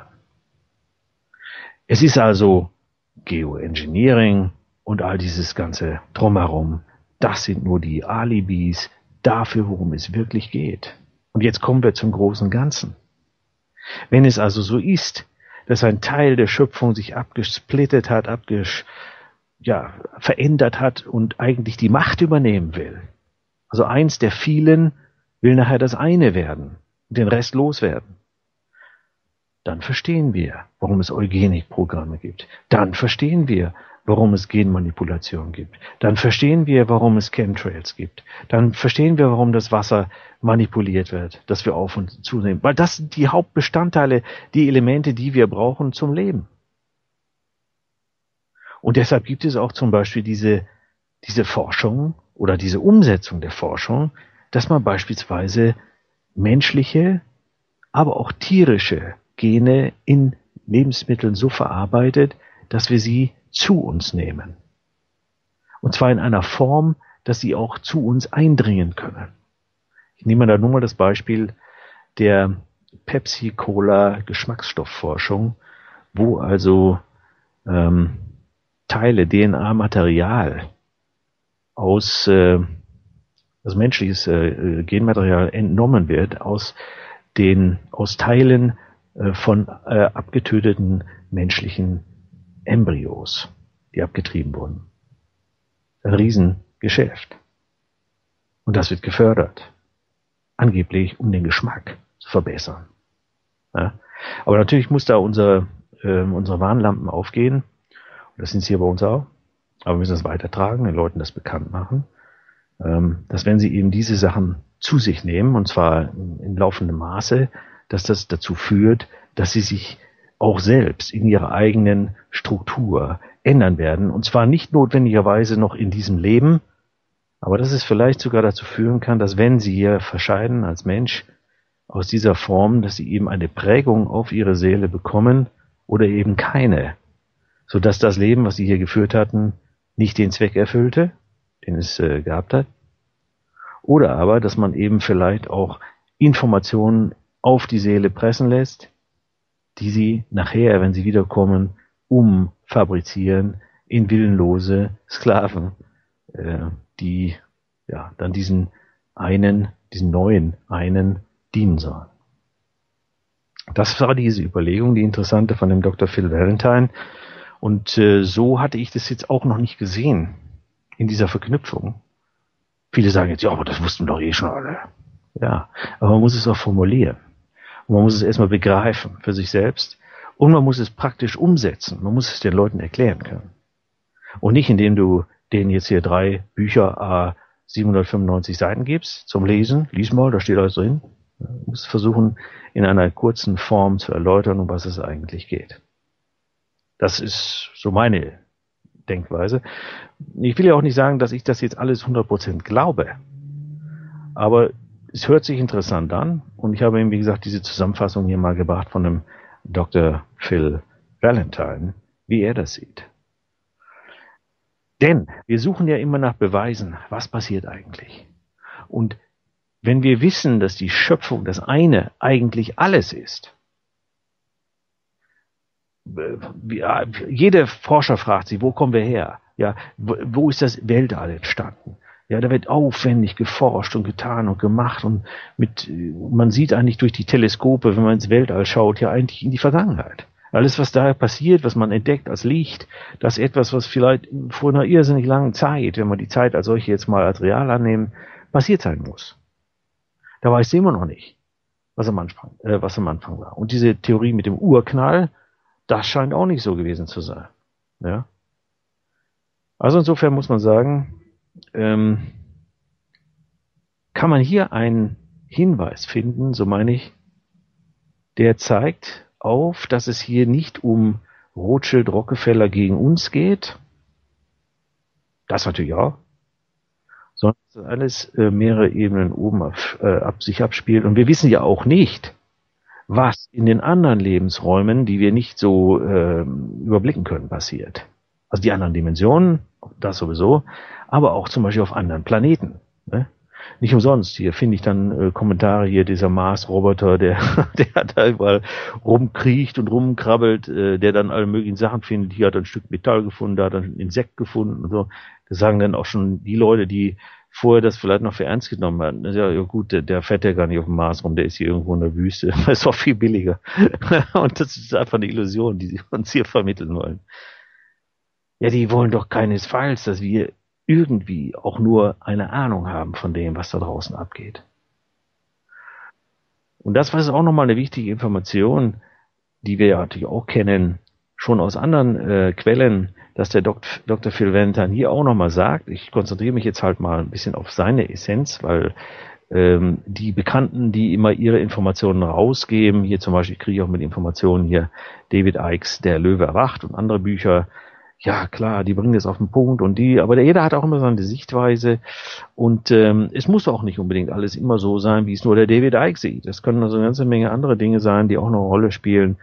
Äh, vielleicht auch Dinge, die er noch gar nicht so sieht oder ich meine, er ist natürlich auch sehr ähm, auf seine Schiene konzentriert. Ja, ich weiß gar nicht, wie dieser Mensch dann noch nebenbei noch viele andere Sachen studieren kann, weil er sich allein schon mit seinen Sachen beschäftigt. Ne?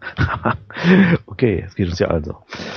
Ähm, ja, und er meint also eben, dass diese sogenannten Illuminati, die ja schon, äh, was weiß ich, vor 200, 300 Jahren aktiv waren, und die Leute davor, und hier speziell der Vatikan, die ja das, das Wissen der Kulturen bei sich horten. Die haben ja deswegen ganze äh, Kontinente erobert. Man denkt jetzt nur an Südamerika. Man will uns zwar erzählen, da wäre das nie, äh, das wäre alles vernichtet worden vor Ort. Ich glaube das nicht. Ich glaube, viele dieser Informationen, die dort angeblich vernichtet wurden, sind alle wunderschön äh, zum nach Rom gewandert oder sonst wohin, ähm, weil ich denke, da waren die Leute damals, die Obersten, schon ähm, sehr interessiert dran an diesem ganzen Wissen, was da möglicherweise vorherrschte.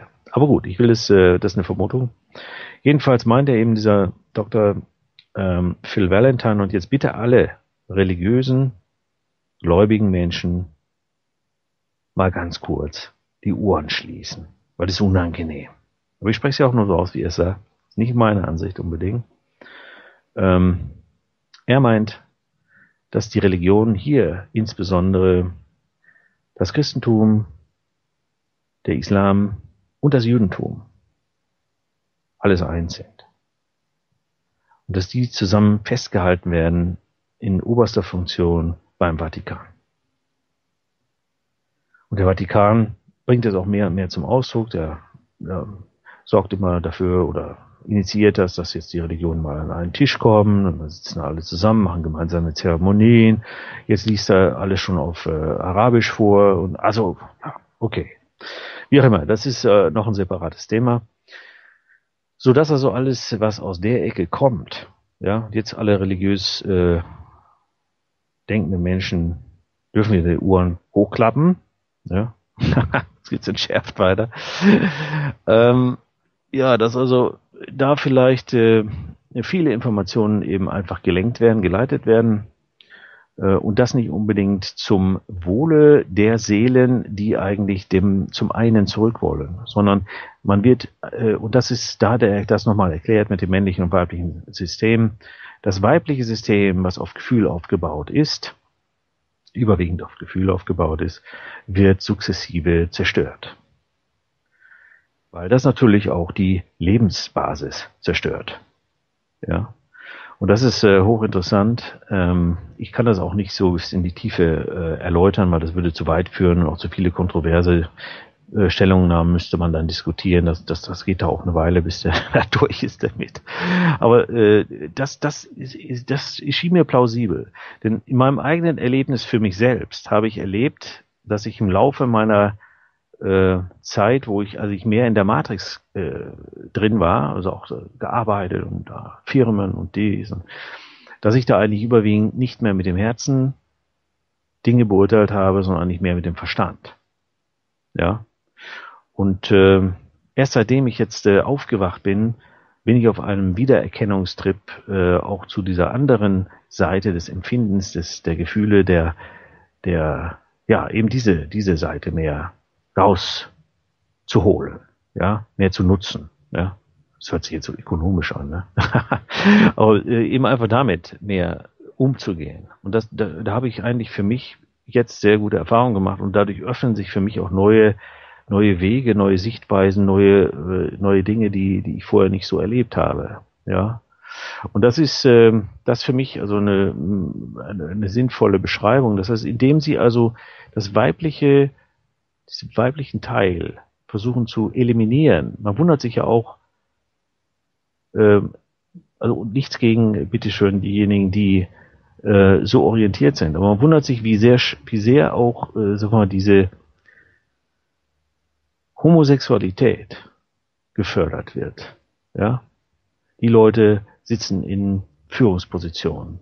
Die Leute, ähm, ja, stehen uns an. Also wir kennen ganz viele Beispiele, ich will jetzt nicht Namen nennen, aber oder denken wir an diesen Bohemian Club, äh, wo ja äh, diese ganzen Weltführer zusammenkommen, Politiker und was weiß ich, Bankster und die alle dem einen frönen. Ne? Und wir auch wissen, dass das eigentlich nicht zu einer Fortpflanzung führen kann. Ne? Also ich glaube nicht, dass das funktioniert. Ne? ich habe es noch nicht erlebt. Ähm, dann ist das doch etwas, was auch darauf hinweist, dass man versucht, eben die Vermehrung äh, von Menschen ähm, auch über diesen Weg vielleicht einzudämmen oder die, die Menschen, die eben dann sich nicht vermehren, keine Familien haben, eben das nicht ähm, ähm, erleben, dann eben so auch auf ihre Seele zu prägen. Dass wenn sie wieder zurückkommen oder in einen Kreislauf zurückkehren, irgendwo, dass sie gar nicht auf den Gedanken kommen, sich zu vermehren, eben das Weibliche als solches, nicht als als Geschlecht, sondern als als äh, das Fühlen ähm, und dieses Erleben von äh, Liebe, Familie, äh, Kinder und so eben einfach gar nicht mehr äh, aufkommen lässt. Das waren seine Gedanken, ja, von Phil Valentine. Ähm, ja, ich sag das, ich spreche es einfach so aus, wie er es ungefähr so inhaltlich äh, spreche es aus, wie er es gemeint hat. Und das wiederum auch ein Hinweis darauf ist, dass hier manipuliert wird, möglicherweise. Ja. Und wir wissen auch, dass auf die Fruchtbarkeit Einfluss genommen wird über die Zusätze, die man im Wasser findet, die man in den äh, Nahrungsmitteln findet und so weiter und, in, und, und auch diese die Verpackungsmaterialien, dieses Plastikzeug und so, was Einwirkungen hat auf die Fortpflanzungsfähigkeit. Alles das hat einen übergeordneten äh, Zweck und der reduziert sich nicht darauf, dass einige viel Geld äh, verdienen wollen und alle Reichtümer der Erde ansammeln wollen, sondern der übergeordnete Zweck und Sinn, weil ich wurde auch darauf angesprochen, wie ich ihn sehe jetzt, äh, äh, nach diesen Schilderungen von Dr. Phil Valentine, ist es eben, dass die Seelen abgeschnitten werden von dem einen. Dass sie nicht die Chance haben, irgendwann zu dem einen zurückzukehren. Nachdem sie jetzt ihre äh, Erfahrung gemacht haben. Und das ist, äh, das ist, denke ich, eine, eine ganz schöne Geschichte. Ja.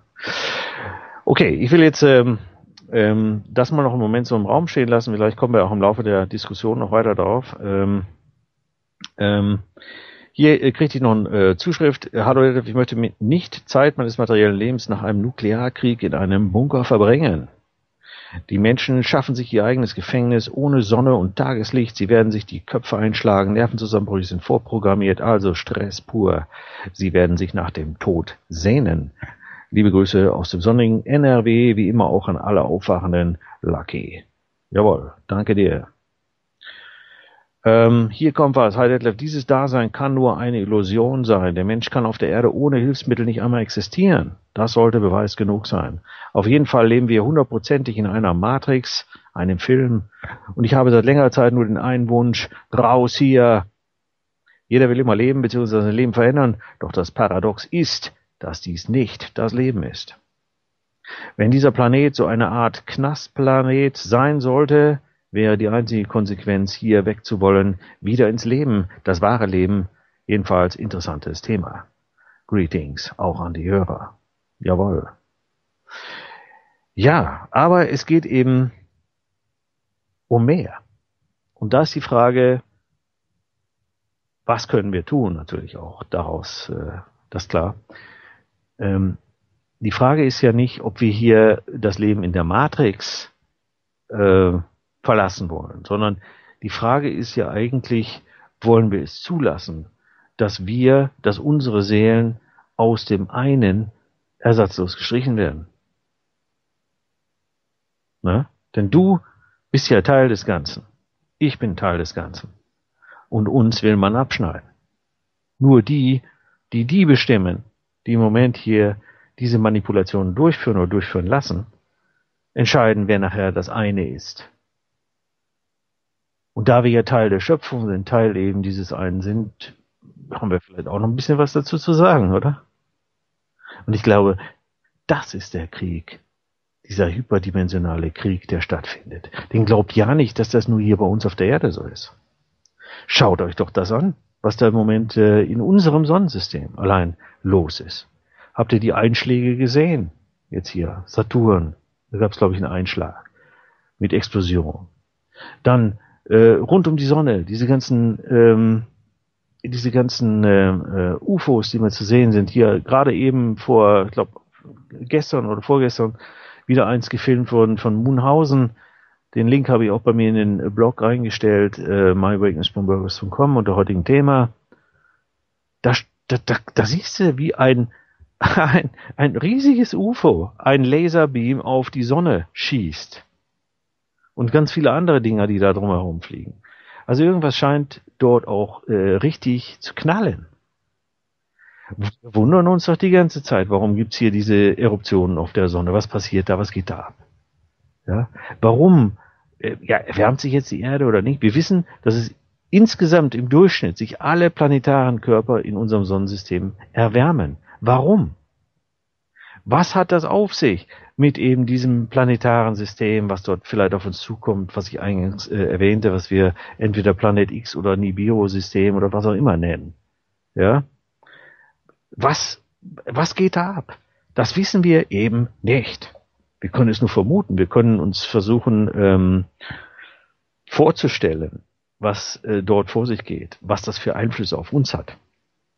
Und natürlich kommt einem dann der Gedanke, ja Moment, wenn es eine Fraktion eben innerhalb dieser Schöpfung gibt, die das, äh, die die Schöpfung manipulieren wollen, das kann ja nicht nur auf der Erde so sein. Wir sind ja nur ein ganz kleines Mini-Teilchen, ja, innerhalb dieses Universums oder überhaupt äh, der Schöpfung. Dann muss das ja auch überall was weiß ich wo sein. Wir wissen ja auch nicht, wie groß und wie stark ist diese Gruppierung, die die Schöpfung beeinflussen will. Ist die nur so stark, dass sie hier in diesem Sonnensystem äh, aktiv ist? Oder ist die vielleicht, äh, was weiß ich, noch in anderen Sonnensystemen, in anderen Galaxien, was weiß ich, aktiv? Wissen wir auch nicht. Gibt es jetzt vielleicht eine Gruppierung oder andere Gruppierungen, vielleicht gibt es ja mehrere, ich, ich, ich, weiß es auch nicht, ich äh, mutmaße jetzt mal, die jetzt eben dagegen kämpft. Warum wachen wir auf? Warum erkennen wir alle, was dort geschieht? Zunehmend. Warum? Gibt es also eine Gegenkraft? Wird diese Gegenkraft umschrieben, beispielsweise im Christentum mit Jesus, der wiederkommt? Ist das nur eine Analogie oder ist es nur ein, eine Umschreibung dessen, was hier abläuft? Auf globaler Ebene, global, also über die Erde hinaus? Äh, also äh, schöpfungsglobal? Das wissen wir nicht. Aber ich muss sagen, ich war sehr beeindruckt davon, dass ich eben dieses Erlebnis hatte und auch überhaupt diesen Aufwachprozess bekam und dass ich immer das Gefühl habe, wenn alles am Boden liegt und ich nicht mehr weiß, wie es weitergeht, dass es dann trotzdem weitergeht. das, das, habt ihr vielleicht auch schon mal erlebt, dass man denkt, ey, wie schaffe ich das jetzt? Ich denke hier mal, komm, die haben hier am, am 22.05. alles weggenommen, um überhaupt senden zu können. Ich hatte nichts mehr. Nichts. Und dann ging es dann doch irgendwie weiter. Aber eben natürlich nicht bequem und nicht einfach. Alles musste erkämpft, beschafft, äh, gesponsert, irgendwie werden, damit es weiterging. Und jetzt heute, damit wir heute so eine Sendung machen können. Also muss das einen Grund haben. Das hat mich, äh, das, das erstaunt mich immer wieder, was alles möglich ist. Deswegen halte ich auch nichts für unmöglich. Ich bin natürlich jetzt äh, insoweit natürlich menschlich geprägt, äh, auch ein bisschen zurückhaltend anzunehmen, es gibt, es wird so etwas wie eine Rettung geben, irgendwie von irgendwelchen Außerirdischen, die uns hier alle holen, wenn wir alle verzweifelt sind. Ähm, ich glaube, dass es nicht so einfach sein wird. Ähm, theoretisch ist das denkbar. Ne, denn diese Gerätschaften, die wir da gesehen haben, die da um die Sonne fliegen, sollten sie von der anderen guten Seite sein, hätten bestimmt die Kapazität, äh, alle Menschen da aufzunehmen. Ne? Das ist nicht der Punkt. Wie immer das technisch möglich wäre. Ja. Aber ähm, vielleicht geht es ja um was ganz was anderes. Vielleicht haben wir ja durch unsere Kraft, die wir hier entwickeln, durch unseren ja friedlichen, auch durchaus mit Liebe versehenen Widerstand, den wir leisten, die Möglichkeit, die Dinge aufzuhalten. Viele von diesen genmanipulierten Nahrungsmitteln, dieser Anbau, wird ja hier in Teilen der Länder, äh, beispielsweise ja auch in der BRD, ver, äh, zumindest verhindert ne, oder verzögert, die Einführung. Also man merkt, es gibt äh, einen Teil der Menschheit, der sich wehrt dagegen. Es gibt diese sogenannten, und jeder hat seinen eigenen Wissensstand und seinen eigenen Interessenbereich. Ja, nicht jeder sieht das jetzt aus der Brille, wie ich es geschildert habe sondern der eine ist einfach nur daran interessiert, dass er seinen biologischen Anbau weiterführen kann. Sieht aber nicht sehr viel mehr darüber hinaus. Nicht, dass das schlimm ist, aber es ist einfach die Situation, wie sie ist. Ja?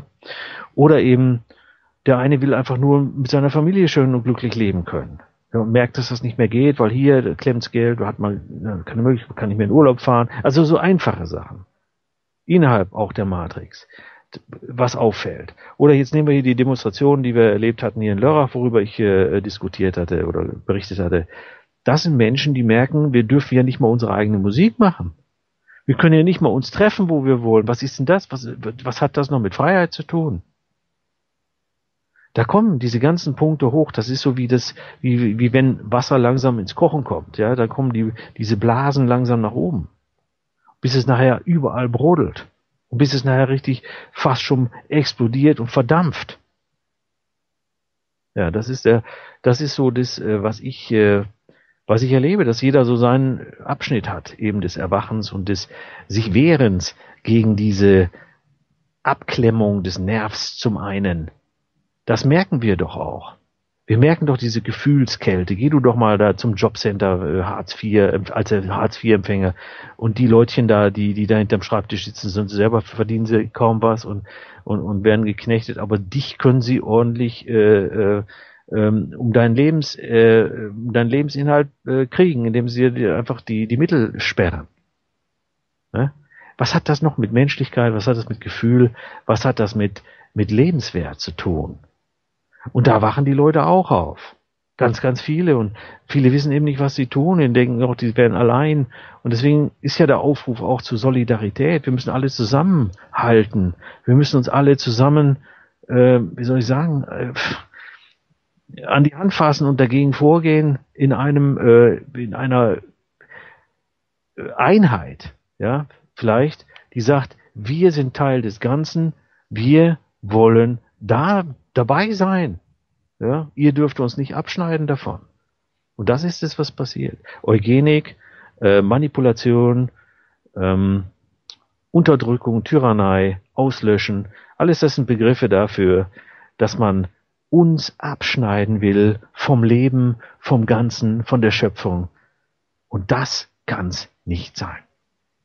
Und da können wir eigentlich sicher sein, dass die,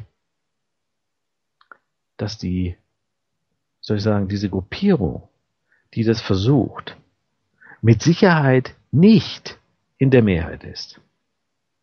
Und deswegen ist möglicherweise eben auch unser, unsere, und sind unsere Möglichkeiten sehr groß. Und deswegen versuche ich auch mit meinen Sendungen immer ganz viele anzusprechen, ja, soweit ich kann. Ne? hey, hat sogar jemand mich hier verlinkt, das will ich gerade vorlesen. Ganz klasse, sie das gemacht hat. Das gerade mal raussuchen, dass ich finde. Ne? Hier bei einem Matrix-Medium. Ne? Wie war das? Und zwar, ne, habe heute versucht, Moin Moin, Detlef schreibt hier jemand. Hab heute versucht, mal ein bisschen indirekte Werbung für dich zu machen, da ich zu deinem Beitrag zu Mitt Romney auf MyWakeness.wordpress bekommen, sehr passend zu dem ARD-Artikel. Es gab keine Demonstration, fand. Ja, also mir Link dazu Tagesschau gegeben und da kann man eben kommentieren. Und dort wird in den Kommentaren herrlich über die USA hergezogen. Ich habe unter Angabe deiner Blogadresse und einem zwei Absätze langen Zitat von dir zu Mitt Romney die Leute aufgefordert, sich mal breitflächig ein Bild zu machen um so hoffentlich zu einer eigenen Meinung zu gelangen. Und da hatte sie erlebt, der Moderator schaltet jetzt seit 30 Minuten meinen Kommentar nicht frei und jetzt schon, sind schon fünf andere hinterhergerutscht. Dann hatte sie das Gefühl, man will sie da vielleicht nicht zu Wort kommen lassen. Und dann kriegte ich eine Information. Hi, es steht drin, juhu, Chaka, der musste wohl erstmal recherchieren. Aber der Artikel ist jetzt nicht mehr direkt auf tagesschau.de zu finden, sondern nur noch ganz klein erwähnt in einem Zwischenlink unter Ausland. Wohl zu viel offensichtliche Wahrheit. Haha, schreibt sie, mach's gut. okay. Ja, also eben, dadurch kann man vieles äh, erreichen. Man kann eben durch solche Links oder durch die Kommentare in Blogs und weiter auch wieder eine, versuchen, eine ganze Menge unserer Mitseelen zu erreichen. Eigentlich sollten wir sie nicht mit Menschen nennen, sondern mit Seelen nennen. Weil das ist viel treffender. Denn es geht darum, klar, werden wir dieses zeitliche irgendwann segnen, alle, ja, der eine früher, der andere später, ähm, hoffentlich so, dass er seine Prägung auf der Seele mitkriegt, wie es geplant ist oder wie es gewollt ist. Ähm, aber es geht immer sicher noch munter weiter in diesem Schöpfungsprozess, in dieser, die ist ja auch diese Schöpfung ist ja, ist ja wie ein Perpetuum mobile wahrscheinlich, die geht ständig weiter. Ne? Eben, wenn Zeit eigentlich keine Rolle spielt, muss man das so sehen. Umso schlimmer ist es ja, dass es eben eine Gruppierung innerhalb der Schöpfung gibt, die uns anderen Mitgliedern dieser Schöpfung, dass die uns hier killen wollen, ausschalten wollen. Und das dürfen wir keinesfalls geschehen lassen. Und ich bin sicher, es gibt eine Fraktion, die uns zu Hilfe kommt, weil er auch ganz explizit hier sagt, die Sonne die man uns natürlich auch verdunkelt durch die Chemtrail-Angelegenheiten, ähm, dass die natürlich auch dafür sorgt, dass äh, weniger Sonnenstrahlung hier bei uns ankommen soll. Ja. Ähm, und deswegen ist es eben so, dass ja auch hier natürlich diese Sache offenkundig zur Schau gestellt werden muss. Es muss darüber aufgeklärt werden. Und zunehmend sind auch ähm, Politiker in Anführungszeichen bereit, darüber offen zu sprechen. Ich las jetzt hier irgendwo in einem Artikel, irgendeiner aus skandinavischen Ländern, da äh, hatte ein irgendein grünen Politiker, hat ganz offen ausgesprochen, jawohl, es gibt dieses Chemtrails, das hat nichts mit Kondensstreifen zu tun, da werden Chemikalien ausgebracht. Es wird also offen auch schon in der Matrix darüber gesprochen, weil wir den Druck so aufgebaut haben. Und deswegen ist alles das zu unterstützen, was diese Wahrheit ähm, nicht nur sucht, sondern auch nach außen trägt. Auch wenn man nicht immer 100% Konkurrent in den Ansichten ist. Ja, man kann nicht immer auf dem gleichen ähm, Ansichtenniveau schwimmen. Also Niveau nicht jetzt als Wertung, sondern auf dem, äh, als Level, ja, als man hat nicht immer die gleichen Informationen. Man hat auch die, das Recht und die Freiheit, auch anders denken zu dürfen. Ja, das ist gar keine Frage. Ja. Also das ist ganz wichtig. Und was anderes ist mir auch aufgefallen. Hatte mir hier, wer hatte mir das hier zugeschickt? Das war doch hier der Aufgewachte wieder, ne? Das kann ich euch mal vorlesen. Ja? Weil deswegen spreche ich ja auch über Matrix-Angelegenheiten.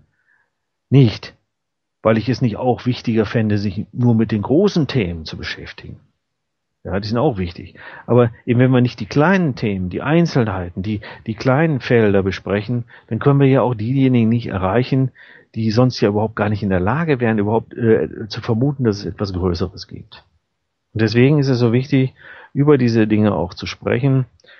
Ähm, und hier steht Thema Schuldgeldsystem. Hi Detlef, im Stadtrat von Werl, das ist ein kleiner Ort in Nordrhein-Westfalen, steigt der Druck im Kessel beträchtlich an. Denn die unbequeme Wahrheit kommt heraus. Als erste Partei in der BRD griff die Werler Piratenfraktion am vergangenen Montag, den 8.10.2012, das Grundübel aller gesellschaftlichen Missstände direkt an, nämlich das Schuldgeldsystem in Verbindung mit dem Zinssystem. Der Angriff erfolgte mit nur einem einzigen Antrag, dessen smarte Begründung für sich allein betrachtet schon ein Ground Zero im Werler Stadtrat hinterlassen dürfte. Um die smarte Begründung der Werler Piratenfraktion zu lesen, bitte auf den Atompilz klicken. Zu finden, ist gut, äh, aufgewachter.wordpress.com äh, unter dem 11.10. Nukleardetonation in der Werler Kommunalpolitik. Piratenfraktion stellt Schuldgeld und Zinssystem in Frage und beantragt kommunalen Bailout Schuldenschnitt. Ja, also äh, die Leute sind ja auch nicht blöd. Sobald du ein gewisses Level an Aufgewachtsein ähm, erreicht hast, stellst du vieles in Frage. Wenn dir erstmal die Schuppen von den Augen gefallen sind, was dieses Geldsystem eigentlich darstellt, da kannst du hier nichts anderes mehr ernst nehmen. Und aus dem Grund ist es ja auch sehr erfreulich. Und da spielt es keine Rolle, ob der irgendeiner Partei angehört oder irgendeine Religion hat oder so. Oder das spielt oder irgendeine andere Nationalität hat als man selbst. Oder schwarz ist statt weiß oder grün statt gelb oder nee, gibt's diese Farben? Nee, gibt's ja gar nicht, jetzt Hautfarben. Äh, Mars, Marsmenschen sollen mal grün gewesen sein. Früher. Okay, nee, also ihr wisst, was ich meine, spielt keine Rolle. Dann muss man das unterstützen, dass das trägt dazu bei, dass ein allgemeines Aufwachen möglich ist. Und das ist zu unterstützen. Und eben das sagt der Dr. Phil Valentine auch. Er sagt, Leutchen, die Sonne aktiviert bei uns im Gehirn die verschiedenen Bereiche, die alle unterschiedlich, unterschiedliche Funktionen haben. Immer mit. Und jetzt verstärkt. Und deswegen machen sie die, die Himmel immer dunkler. Deshalb versuchen sie uns die Sonne wegzunehmen, damit diese, diese, diese Informationen nicht direkt zu uns kommen können in dieser Form. Und er sagt auch, und das gehört jetzt wieder zu dem Thema, was wir eingangs äh, erwähnten, Planet X, was, was kommt vielleicht auf uns zu? Was passiert? Nibiru? Gibt es irgendeinen Polsprung? Gibt es irgendwelche Katastrophen, die wir zu erwarten haben? Warum bunkert sich die Elite ein? Ja, wir wissen, und da sagte dieser Bunkerbauer auch, ja, er wäre erstaunt, also jetzt äh, Filteranlagen würden wieder zu kriegen sein für die Atom ähm, Nuklearverseuchungsfilter und was weiß ich Filter. Ähm, die wären jetzt wieder da, deshalb könnte er jetzt also die auch wieder alle einbauen, weil der Staat, die Regierung der USA ihre Einkäufe längst abgeschlossen hat. Das heißt, die Verantwortlichen, und das, darüber haben wir auch jahrelang berichten wir jetzt schon darüber, diese äh, Verantwortlichen haben in der Vergangenheit sich diese riesigen unterirdischen Bunkeranlagen bauen lassen, haben die voll gestopft mit allen möglichen äh, Nahrungsmitteln. Die haben dort auch künstliche Sonnen, um selbst dort anbauen zu können und was weiß ich. Also sie haben allen erdenklichen Luxus sich da einbauen lassen.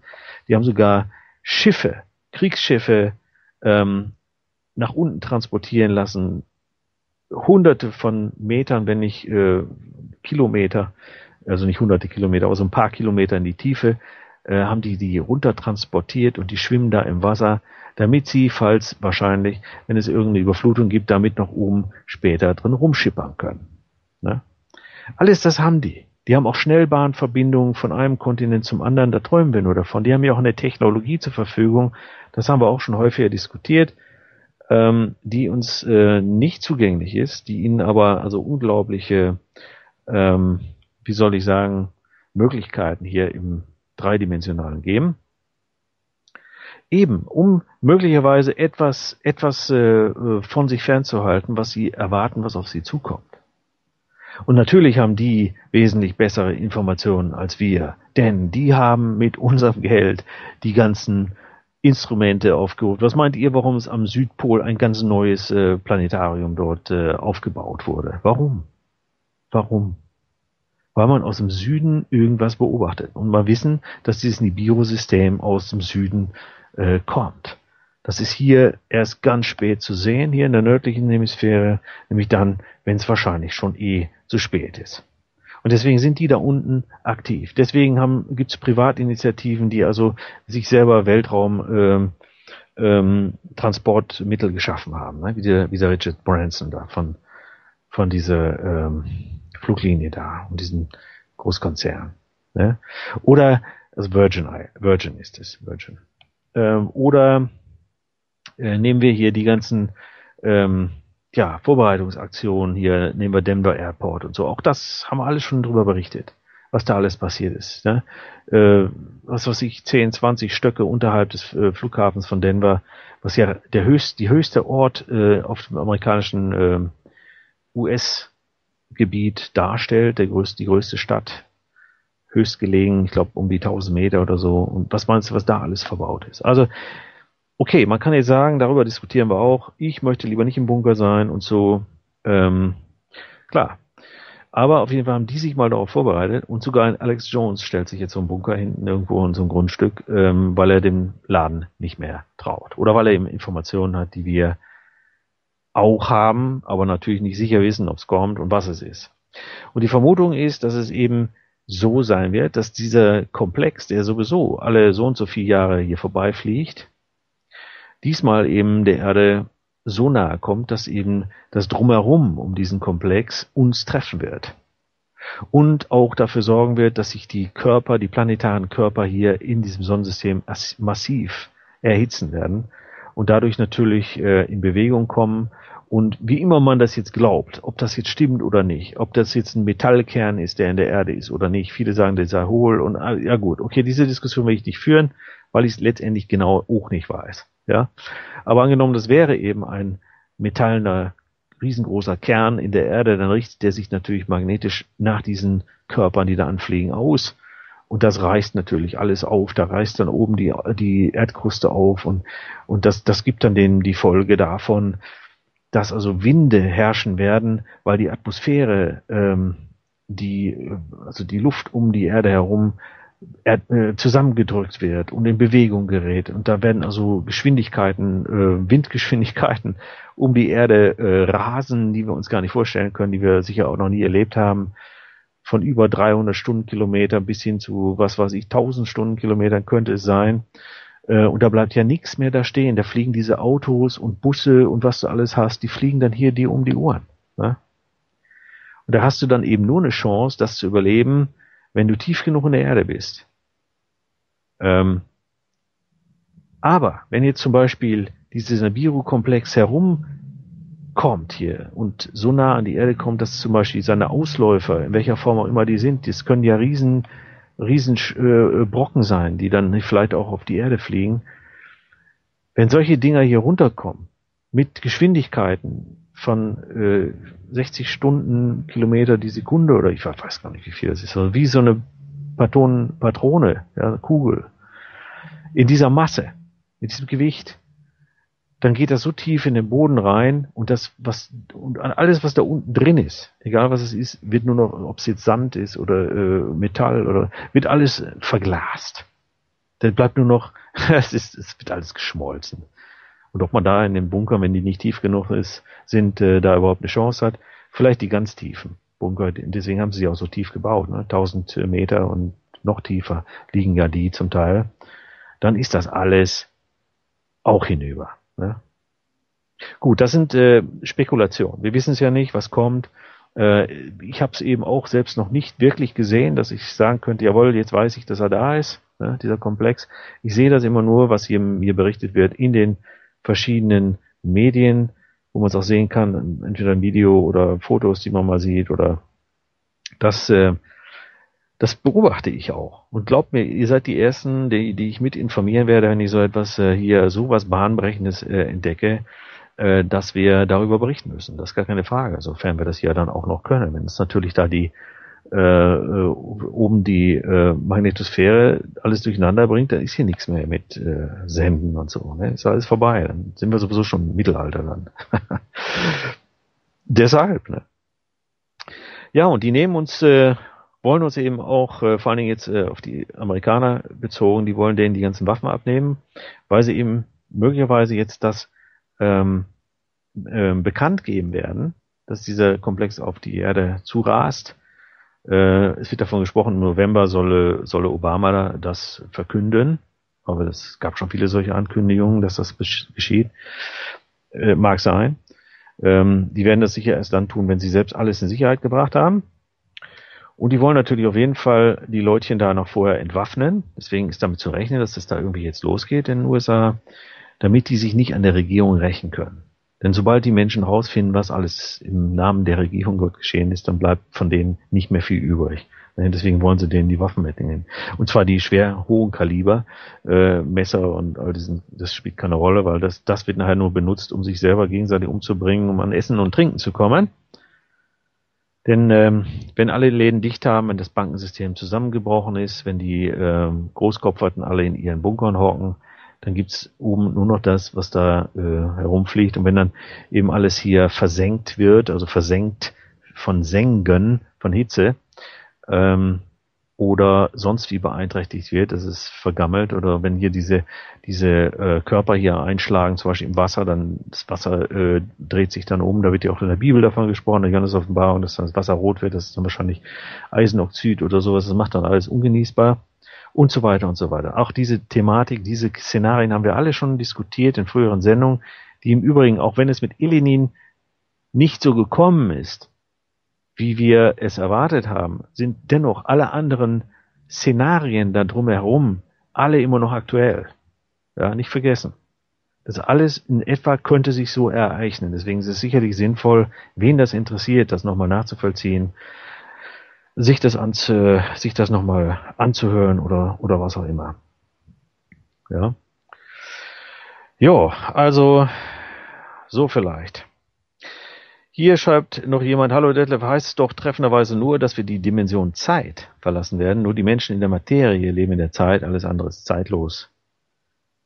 Von Lucky. Jawohl. Danke. Super. Ja, das ist so. Ich meine, wie gesagt, wenn es die Zeit als solches ja auch gar nicht mehr gibt, oder für die Seelen gibt es das ja eh nicht. Es gibt nur eine Formänderung. Ähm, aber eben jede Formänderung ist verbunden mit irgendeiner Prägung der Seele, die anscheinend notwendig ist. Warum auch immer, das kann ich nicht beantworten. Warum das so ist, ähm, das werden wir sehen. Ähm, dann müssen wir jetzt eben dann mithelfen, ja, der guten Truppe sozusagen aus unserer Schöpfung. Wir sind ja Teil des Ganzen. Ja, jetzt mal ein bisschen unter die Arme zu greifen und jetzt mal Dampf zu machen, unsere mit Seelen aufzuwecken, denen ein bisschen äh, zu helfen, zu erkennen, dass sie hiermit selber eingreifen müssen. Das muss jeder selbst machen. Es kann keiner dem anderen helfen, dass seine Seele äh, das überlebt oder in die richtige Richtung geschoben wird. Das, das muss jeder selber. Das geht nur, wenn er es selber macht. Wenn du äh, immer weiter dein Junkfood zu dir nimmst, die, die äh, abgetriebenen Babyföten DNA in dem Geschmacksstoff von Pepsi Cola weiter trinkst, und das nicht nur dort, ne? das ist nur ein Beispiel, äh, wo es bekannt geworden ist, ne? ähm, und dieses ganze Zeug zu dir nimmst, äh, die füttern ja alles Mögliche rein. Was meint ihr, warum die, die Kühe damals diese Krankheit da bekamen, wo sie angeblich geisteskrank wurden? Weil man ihnen ihr eigenen, äh, ihre eigenen Le äh, äh, Lebewesen dazu Fraß gegeben hat. Die haben also selber äh, tote Kühe fressen müssen in ihrem Futter. Und natürlich ist es klar, dass die dann irgendwie, ne, die kriegen das auch mit, die sind ja auch nicht blöd, ne? Und so weiter. Gell? Und man kann, weil hier steht, ich habe lange versucht, die Leute aufzuwecken, aber außer Beschimpfung, nee, nee, die sollen alle selber aufwachen. Ähm, ja, äh, richtig, aber je mehr wir sind auf der guten Seite, die das äh, hinkriegen, umso mehr können wir versuchen, ja, ähm, darauf einzuwirken, dass die Schöpfung bitte mindestens mal genauso bleibt wie vorher, ja, oder dass die Guten dann mal übernehmen, ne? die sogenannten Guten, ja. Wir müssen natürlich das Gute dann dabei definieren und da tue ich mich natürlich auch ein bisschen schwer, als mich immer darauf zurück zu, ähm, ähm, zu besinnen, eben nach den, ja, nach dem allgemeinen Recht vorzugehen, was man halt auch als die zehn Gebote oder wie auch immer oder die ähm, ja die Grundsätze im Universum bezeichnen könnte. Ne? Schauen wir mal, ähm, wie das ist. Also ich äh, hoffe, wir konnten da diese Diskussion mal äh, beginnen. Ich meine, dass die nie zu Ende ist, ist klar, aber ich wollte euch mal diese Sichtweise äh, näher bringen, dass eben dieser hyperdimensionale Krieg im Gange ist und das schon seit ewigen Zeiten. Nämlich wahrscheinlich auch schon kurz nach der Schöpfung begonnen haben muss. Kurz nachdem das eine entschlossen hat, sich zu vervielfältigen, so dass es das sich selbst wahrnehmen kann. In dem Moment hat der Krieg angefangen. Ja, oder? Also gut. Ähm, bevor wir jetzt ähm, zum Ende kommen, noch ein wichtiger Hinweis. Ich habe diese Woche eine Sondersendung ist ja auch nie was passiert. Ne? nee, und nicht aus dem Grund, sondern wir machen immer einmal im Monat unsere United We Strike, United We Win Radiomarathon-Sendung und die machen wir immer am zweiten Samstag eines Monats. Und das findet jetzt diesen Samstag statt und diesmal fange ich an um 15 Uhr nachmittags bis 17 Uhr, zwei Stunden auf Deutsch, dann geht's im, äh, auf Englisch weiter in kürzeren Abständen, also immer alle so 20 Minuten oder so kommt der nächste dran. Wir machen das diesmal ein bisschen schneller durch. Ja, schauen mal, ob das Format auch, äh, auch funktioniert. Aber ich mache trotzdem meine zwei Stunden auf Deutsch, weil es gibt ja so viel, was man darüber diskutieren kann. Ähm, und äh, ähm, wie gesagt, ne, wer, würde mich freuen, wenn ihr alle dabei seid. Oder? Einschalten 15 bis 17 Uhr. Wäre klasse, ähm, wenn ich euch dann auch hier begrüßen darf. Jo, und ansonsten, wie gesagt, spiele ich jetzt ja gleich nochmal hier bei wakenews.net, Wakenews Radio, die Wiederholung ein, bei, ähm, ich weiß gar nicht, bei Milen, glaube ich, kommt die heute nicht. Wiederholung. Ähm, manchmal mache ich das, aber das hängt immer davon ab, was die für ein Programm haben. Und äh, also bei mir auf jeden Fall bei ICIN Radio Network und UWS Radio. Beide Player sind bei mir auf der Seite. Einen davon kann man dann ausschalten. Ne? Man sonst hört man alles doppelt. Ne? Sag's nur nochmal. Für diejenigen, die das noch nicht so. Ne? Ich habe ja, das ist ja schön. Ich habe immer wieder auch neue Verwender, neue User, das auf Neudeutsch heißt, oder neue Zuhörer. Das finde ich klasse. Super, und da seid ihr immer herzlich bei mir willkommen. Ne? Ja, wie gesagt, danke euch fürs Zuhören. Ähm, hoffe, es hat euch ähm, mal wieder einen anderen Blick auf die Dinge gegeben. Ich denke, mir hat es schon äh, viel gegeben und ähm, ausgangs hören wir jetzt nochmal von Kinetic Jane, Kinetic Speed Tape. Ja, ganz klasse. Und während ich dann die Wiederholung einspiele, kommt dann noch Weiß der Himmel ja, von der Regenlaune. Ne? Hat ja auch was mit Chemtrails zu tun, über was wir heute gesprochen haben. Ich sehe davon Weakness Radio, klasse, dass ihr da wart. Wir sehen uns am Samstag. Jawohl, danke fürs Zuhören. Für alle, die aufwachen wollen. Ohne Blatt vor dem Mund werden die Machenschaften der Dims und der Cracks, der dunklen Kräfte hinter den Kulissen dargestellt, diskutiert und die Verschwörungspraxis aufgedeckt. Jeden Dienstag und Donnerstag von 16 bis 18 Uhr mitteleuropäische Zeit hereinhören, mehr unter wakenews.net.